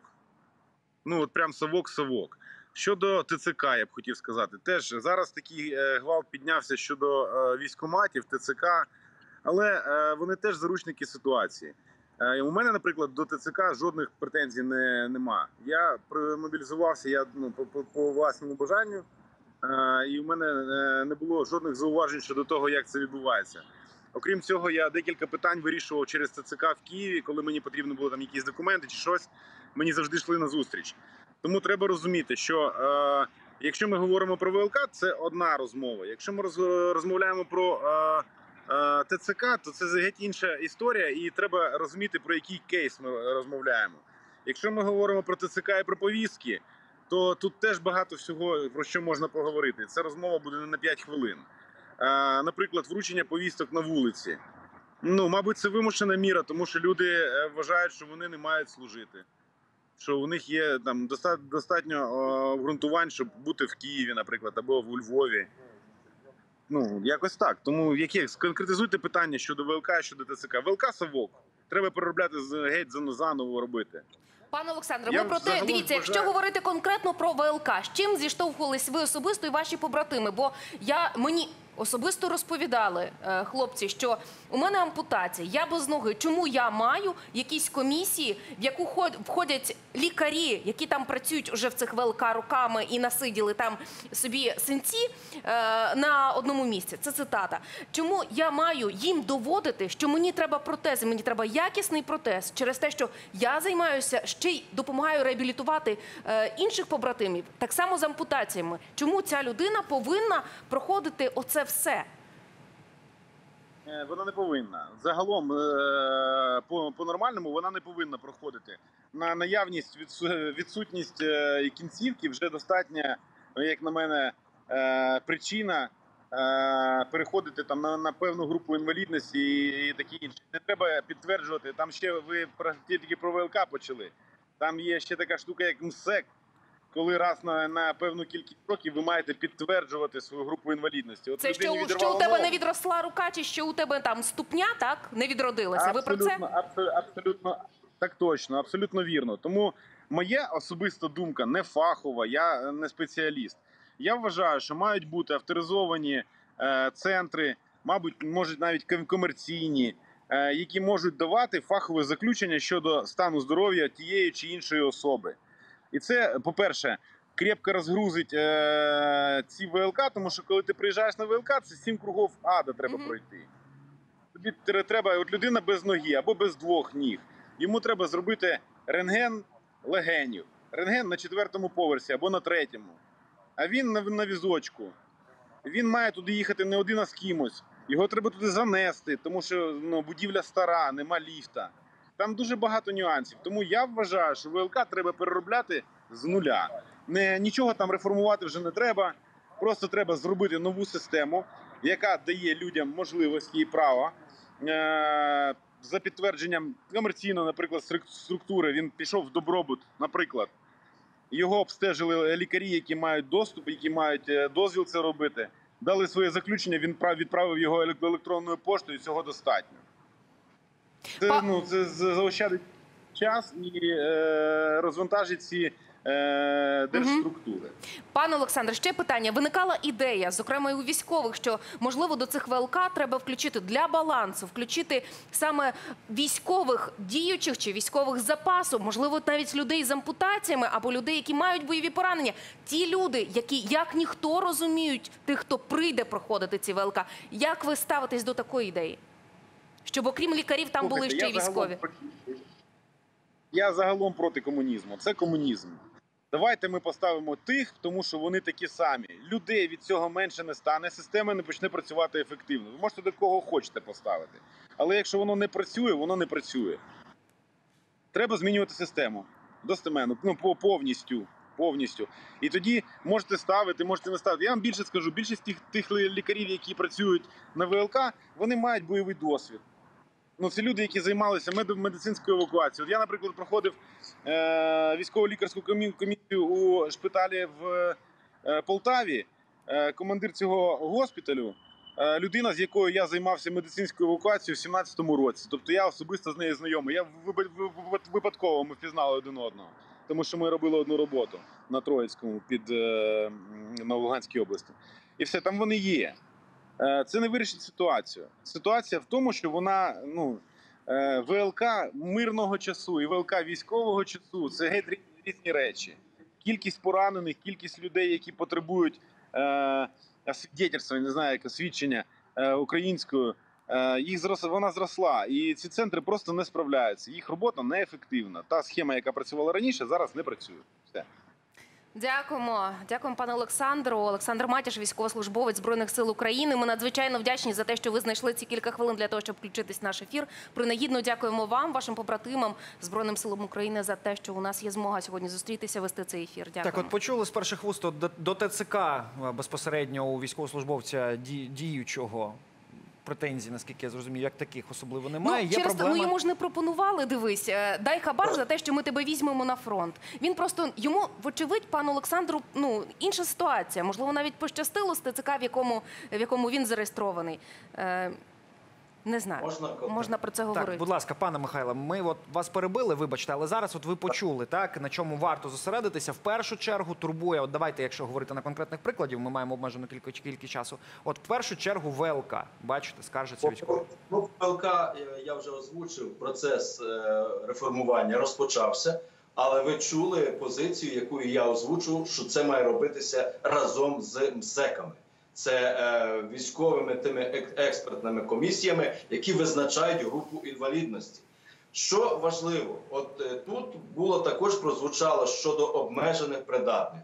От на це ставить наголос Верховного командуючий президент Володимир Зеленський, що обмежено придатні люди з бойовим досвідом можуть очолювати і працювати в центрах комплектування.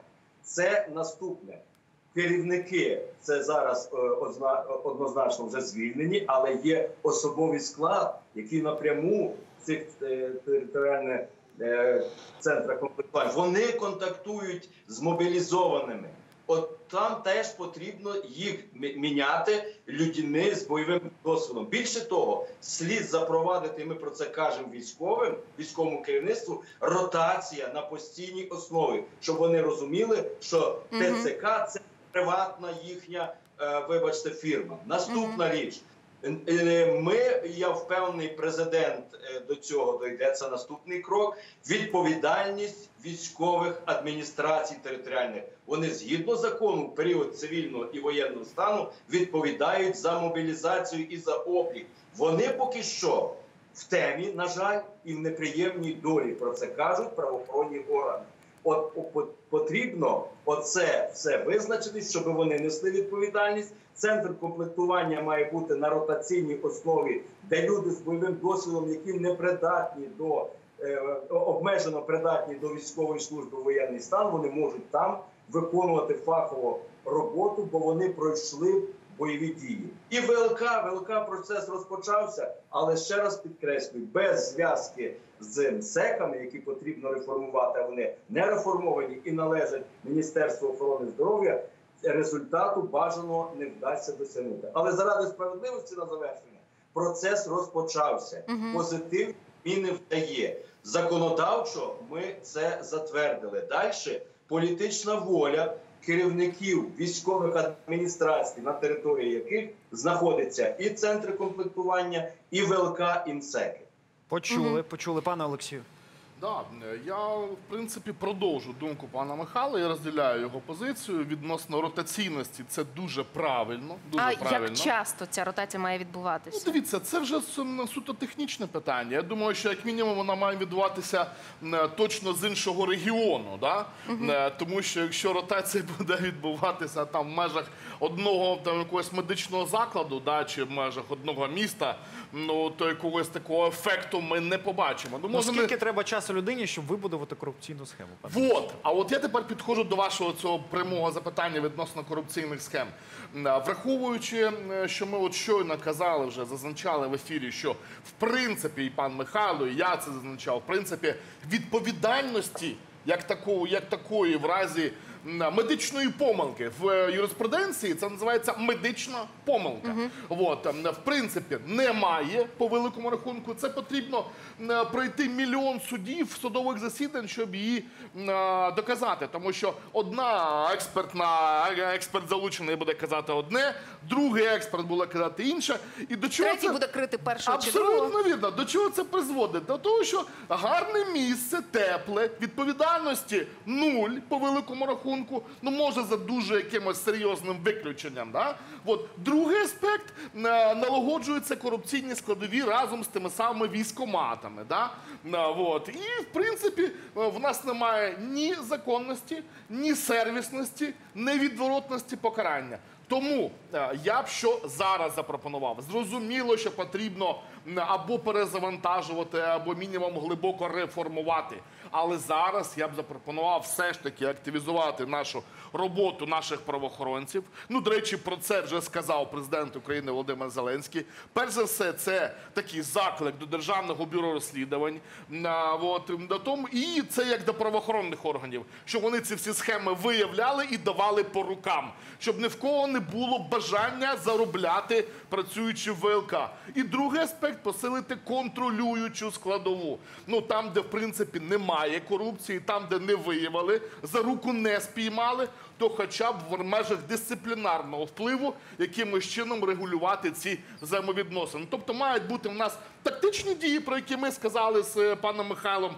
Ротація, контроль і активізація правоохоронних органів і стратегічні цілі, системне перезавантаження на ВЛК для поновлення довіри з людьми, так само, до речі, як і військомат.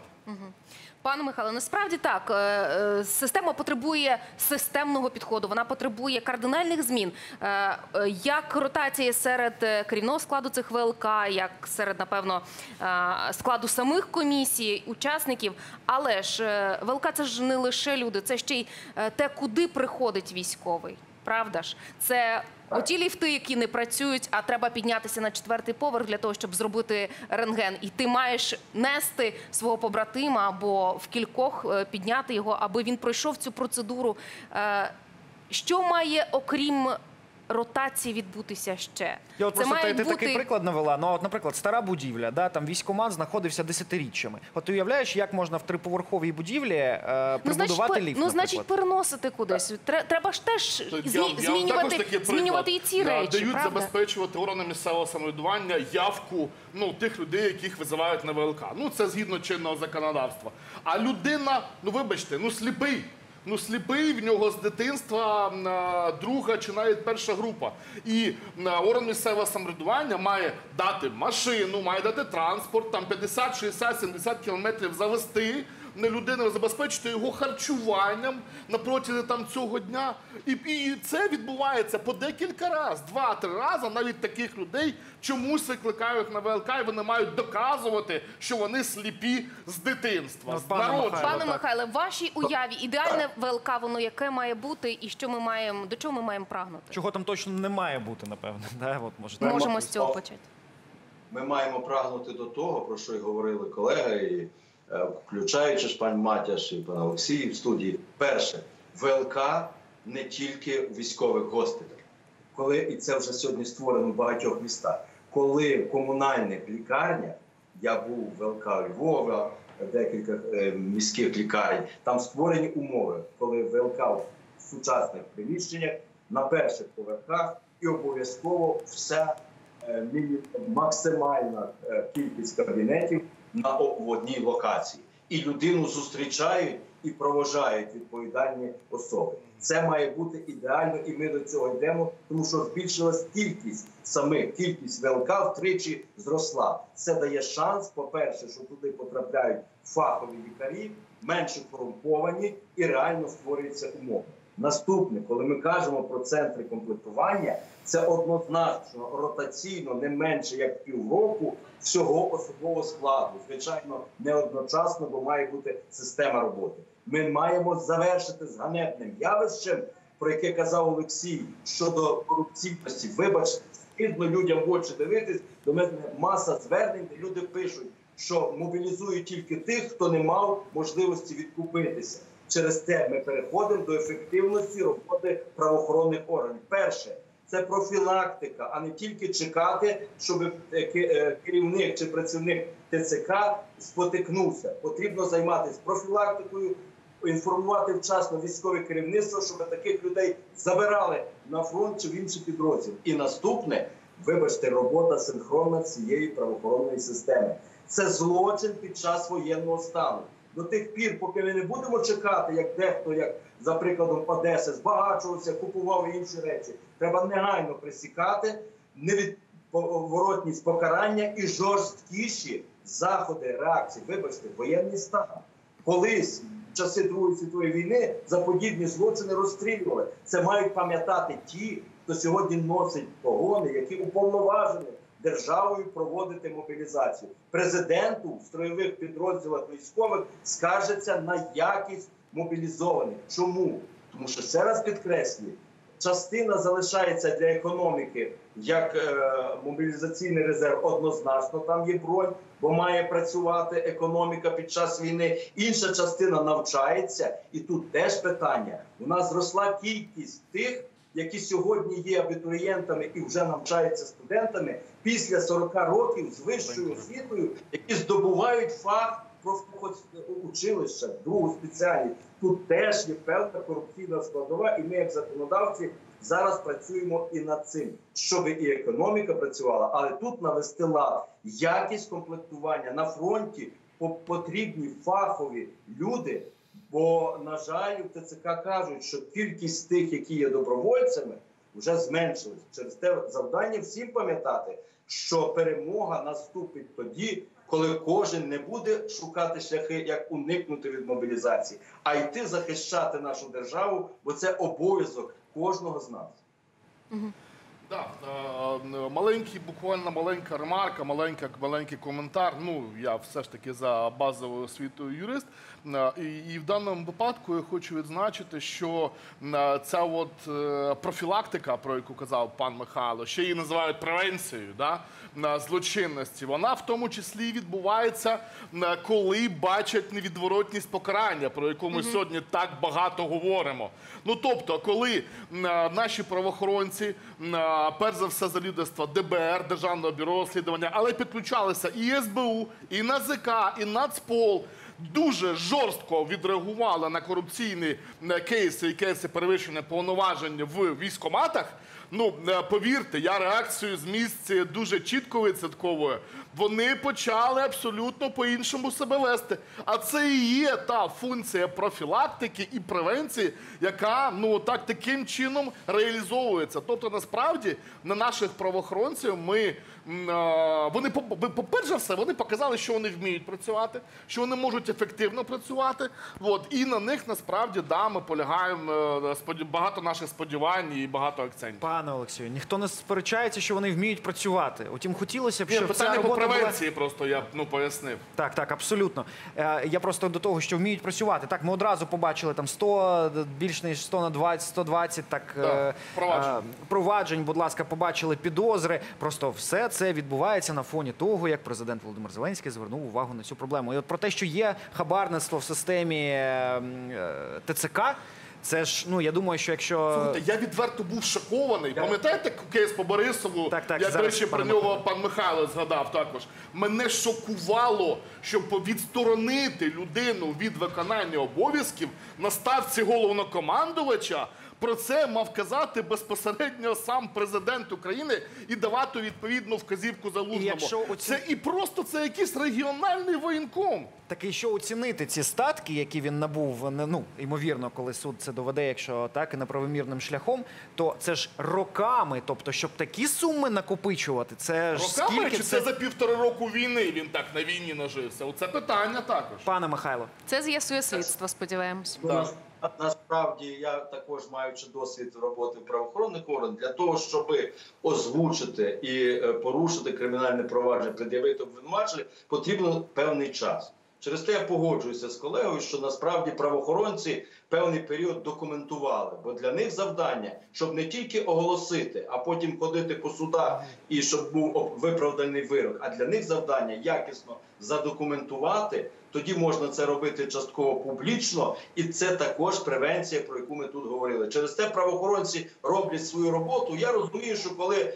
верховний командир дає доручення, то тоді робота активізовується. Але насправді це справа не одного дня задокументувати і потім вже як кажуть вийти на певну реалізацію. Тут заради справедливості вони роботу свою показують. Крім того, ми не повинні забувати, що ті правоохоронні органи сьогодні роблять ще й основну завдання, основне завдання, бо в них всіх є бойові підрозділи, які сьогодні на фронті. Це мова йде і про службу безпеки, і про Нацпол, і Нацгвардію, і інші. А завдання ДБР, які не просто Вони тільки в стадії, як кажуть, певного реформування. В них теж немає людей з бойовим досвідом, а там мають бути ті, хто можуть розслідувати злочини в стані військового е, періоду і тим більше строєвих військових підрозділів. Ви знаєте, друзі, буквально одна ремарка. Найголовніше, як на мене, люди мають відчувати, що ну, верховний головнокомандувач, наше військово-політичне керівництво відчуває суспільні настрої і готове рішуче реагувати на усі виклики. От коли ми бачимо, що втручається президент в ці навіть питання постійно, це не тому, що йому нема чим займатися під час війни, а тому, що він відчуває, що це питання, як ми вже казали на початку нашої на сьогоднішньої програми, це питання національної безпеки і його втручання на- в питання тут уже критично необхідне для того, щоб прямо зараз відновити довіру до державних органів. Ну, запит суспільства, так, Так. розуміємо. Пане Михайло, дякую, що долучалися сьогодні. Допомагали розбиратися у такій надскладній темі. Дуже фахово, простими словами. Дякую. Перший заступник голови комітету з питань соціальної політики та захисту прав ветеранів Михайло Цимбалюк долучався до нашого ефіру. У нас буквально дві хвилинки залишається. Давайте підбивати підсумки, певно. Пане Олексію, от е, ми поговорили про те, що потрібна і ротація, потрібні а, рішення системні. Але як нам дійти до того, що можливо це в головах щось має змінитися, в головах суспільства, не лише в головах е, керівників ТЦК чи ВЛК. Е, Як ми маємо дійти до того, що е, ВЛК і ТЦК працюють, але е, змінене керівництво воно відмовляється брати хабарі і йому ці хабарі не пропонують. Чи настане е, оце от е, не знаю, хтось його називає ізраїльська модель, е, але чи, чи ми дійдемо до цього? Як до цього дійти? Ви знаєте, не потрібно тут ніякої ізраїльської моделі. Потрібно просто брати практики ефективного врядування світові, які продукують мінімізацію корупції. Міні... А що це означає? Це мінімізація взаємодії людини, яка приходить в принципі з державним службовцем. От. Тобто це максимальна цифра, от, е, максимальна цифровізація, і тоді ми будемо бачити максимальний ефект. Прикладом є, і я вже його сьогодні, до речі, згадував. Це робота наших ЦНАПів. Тобто багато в чому е, цю сервісну До речі, функцію так. Вдалося, всі, так. Да, всі можуть перебирати звідти. На- А на І чому зараз вона навіть ті, будується? хто українці, ті, хто змушено пої- виїхав там за кордон е, в пошуках безпеки, вони е, згадують український сервіс і, е, і кажуть, що кращого у світі не знайти Абсолютно. насправді. На чому він будується? Все дуже просто. Фронт, е, бек-офіс. Тобто є офіс, який працює з людиною, де мінімальна кількість е, особистого контакту і максимальна цифра. Тобто приходять заявки на, на будь-які послуги, які дає відповідно ЦНАП. Вони обробляються в первинному офісі, а вже на реалізацію йде в на офіс БЕК, якою, з яким не спілкується людина. І отут цей корупційний вплив мінімізований. Тобто нам потрібно реформувати роботу як військоматів, так і на відповідних комісій. І практика у нас у самих є. Словом, Нам не відпрацьовані потрібно треки насправді нічого. да. відпрацьовані треки Дякую. насправді є. Вони довели, що вони працюють, і можливо, якраз треба рухатися е, в цьому напрямі і в такий спосіб. Олексій Боріченко, кандидат політичних наук, а ще юрист, був сьогодні з нами. Дякуємо Дякуємо вам. вам надзвичайно. Рухаємося далі е, безпосередньо до далі на, назад у минуле, чи як то кажуть, назад у майбутнє. Назад у майбутнє. Е, Тут одна з топ-тем останніх днів, звісно, е, розуміємо діяльність найманців ПВК Вагнер на нашому кордоні на території Білорусі. І ось на фоні всього цього дав нове інтерв'ю білоруський диктатор, яке я згадував сьогодні.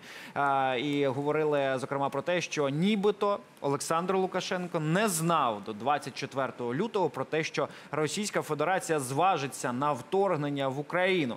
Розбиратися, чи дійсно це так, будемо з Сергієм Бульбою, керівником Білорусь 2.0. Робімо разом, білоруським опозиціонером. Вітаємо, пане Сергію. Господин Бульба, здравствуйте. День добрый, витаю вас. Господин Бульба, верите лично в то, что Лукашенко мог не знать о том, что Путин готовится вторгнуться в Украину в феврале 22 года? И там еще любопытная цитата была в последнем интервью белорусского диктатора о том, что, мол, Путин попросил Лукашенко, ты меня, мол, если что, прикрой, если не дай бог, что случится. Так вот сказал Лукашенко. Ну, во-первых, Лукашенко очень много фантазирует. Он, когда начинает излагать какие-то свои мысли, Если они не, не, не прописаны заранее, то, в общем-то, его реально начинает нести.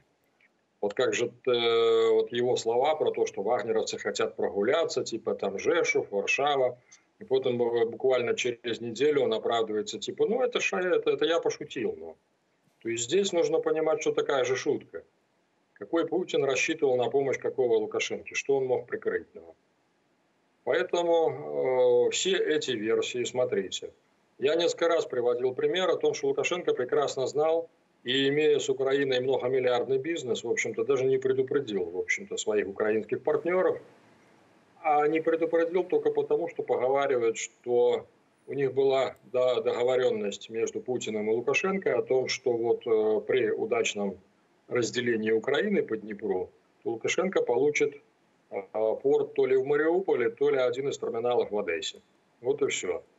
А мечта Лукашенко о своем выходе к морю, чтобы он мог свои калийные удобрения возить никого не спрашивая, она постоянно, в общем-то, ищет реализации.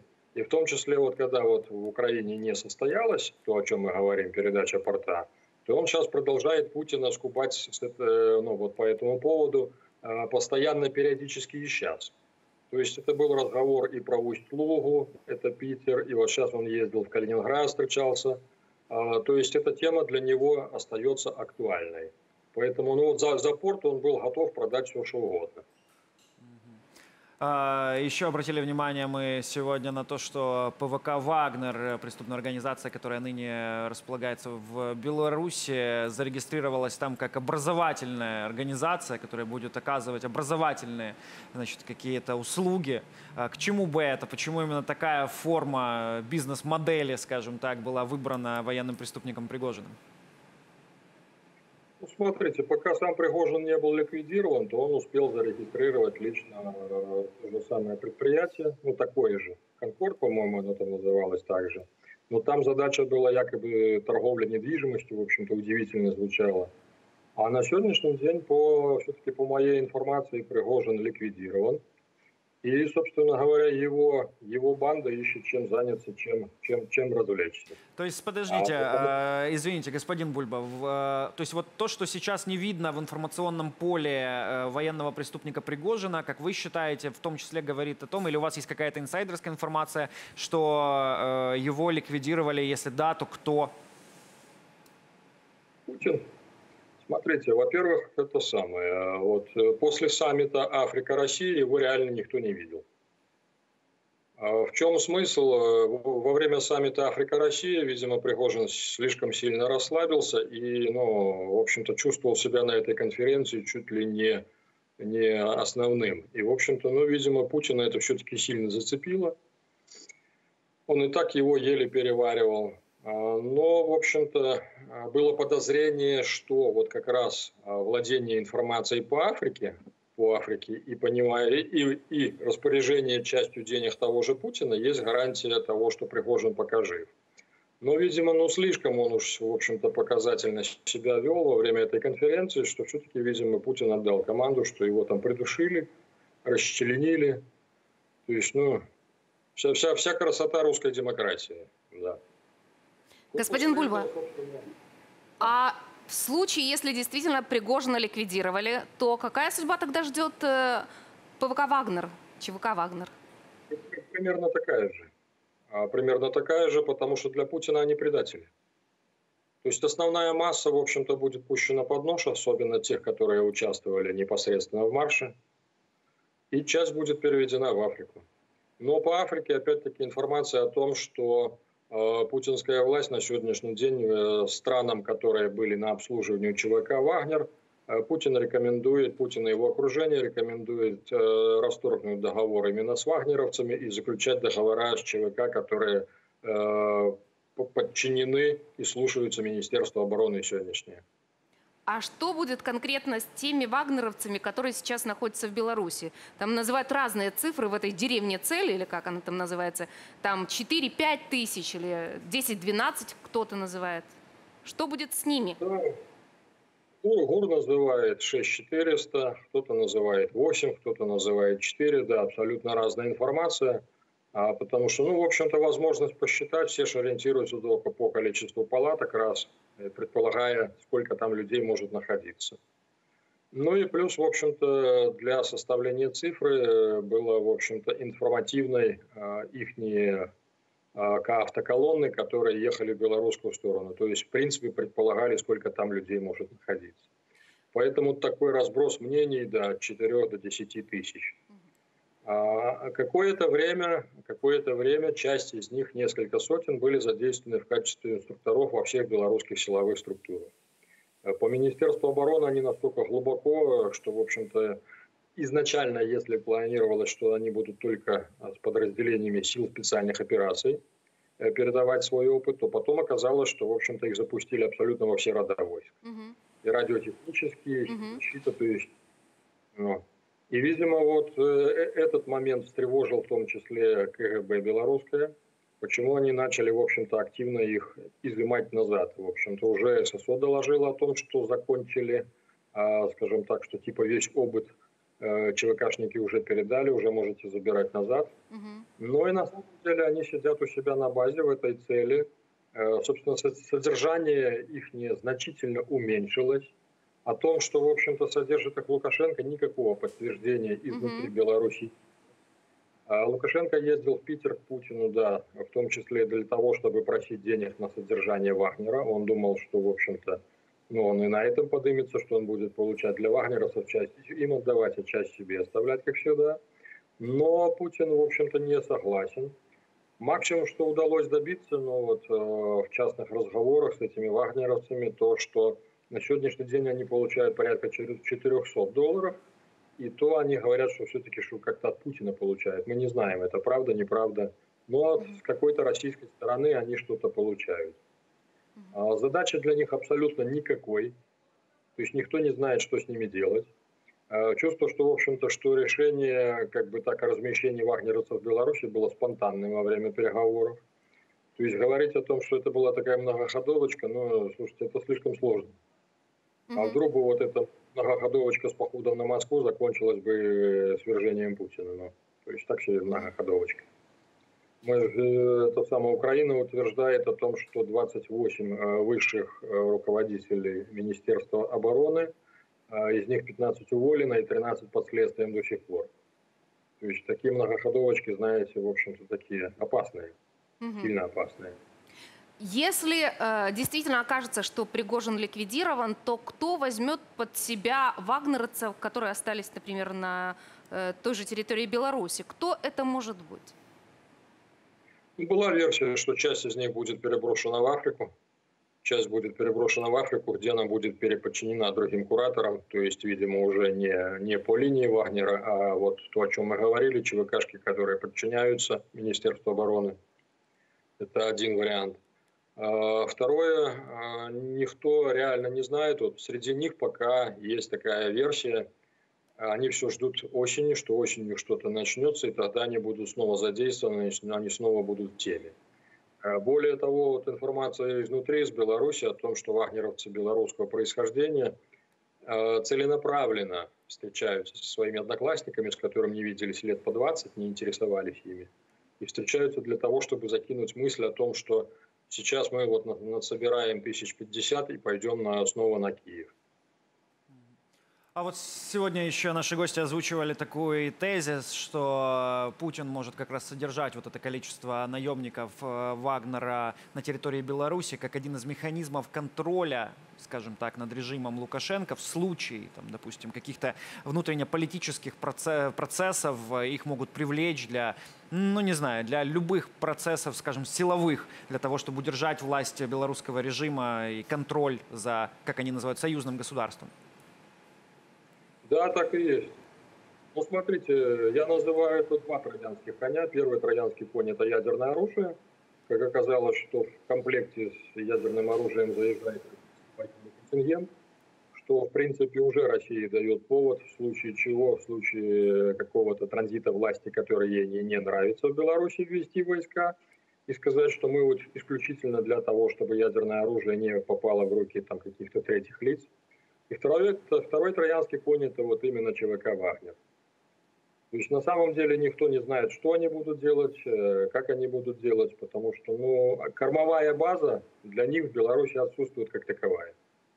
Насколько мы знаем, их руководство на сегодняшний день, в общем-то, перебирало а, варианты отжать бизнес у каких-нибудь белорусских э, бандитствующих структур криминальных. Но они просчитались в том плане, что, понимаете, это у них на России, там, а, собственно говоря, часть бизнеса крышуется э, ФСБшниками, часть полицией, э, часть бандюками. В Беларуси такого нет. У нас, собственно, и олигарх, и бандюк у нас один и тот же. Поэтому, в общем-то, повторюсь, кормовой базы они для себя не находят, а жить на зарплату в 400 долларов они критически не готовы. А Лукашенко, ПВК Вагнер, ЧВК Вагнер не по карману, да, если так объективно говорить? Нет, он не по карману. Вы- вы, Во-первых, смотрите, напомню о том, что рядовой штурмовик Вагнера получает значительно большие деньги, чем э, белорусские генералы. И Поэтому содержать вот такую вот игрушку, ко- которую ты не знаешь, куда, куда приткнуть. Я предполагал, как бы, что они совместно с Лукашенко какие-то проекты начнут реализовывать в Африке, но пока, пока они ничто, ничто на это не, не похоже. Просто интересно, какие это могут быть проекты. То есть, если э, Лукашенко и так за счет силовиков контролирует ситуацию в стране, ну, насколько я понимаю, да, то как он может использовать? Действительно, могут ли быть эти провокации с участием вагнеровцев, нап- например, направлены э, в сторону там э, границы с НАТО? Ну, смотрите, по Африке я предполагал, во-первых, ну, военные перевороты, то, что они любят, это самое, но поскольку Лукашенко также вкладывает свои уворованные у белорусов деньги в Африке в том числе, то вот была мысль о том, что они там совместные проекты создадут. О походах э, в сторону, в сторону Сувалского коридора я понимаю, что сейчас все используют э, для своего ИПСО наличие, наличие вагнеровцев на белорусской территории. Просто когда происходят учения на полигоне Горске, это, это Гродненская область, это как раз получается на стыке это самое, Польша и Литва границы. То, естественно, да, и Польша и Литва заявляют о том, что о какой-то угрозе. Но на самом деле там учения проводит мехбригада Слонимская, в которой буквально ну, несколько десятков этих самых инструкторов. И все. Благодарю вас. Благодарю. Сергій Бульба, керівник е, Білорусь 2.0, робім разом. Білоруський опозиціонер доєднувався до нашого ефіру. Говорили насправді про тему, яка тривожить. Будемо за нею стежити. Ну а на сьогодні, певно, будемо А ви ставити три стежте за нашим ефіром. Так, з вами були Олексій Гомон, Катерина Деркач. Дякуємо, що ці дві години ви були з нами.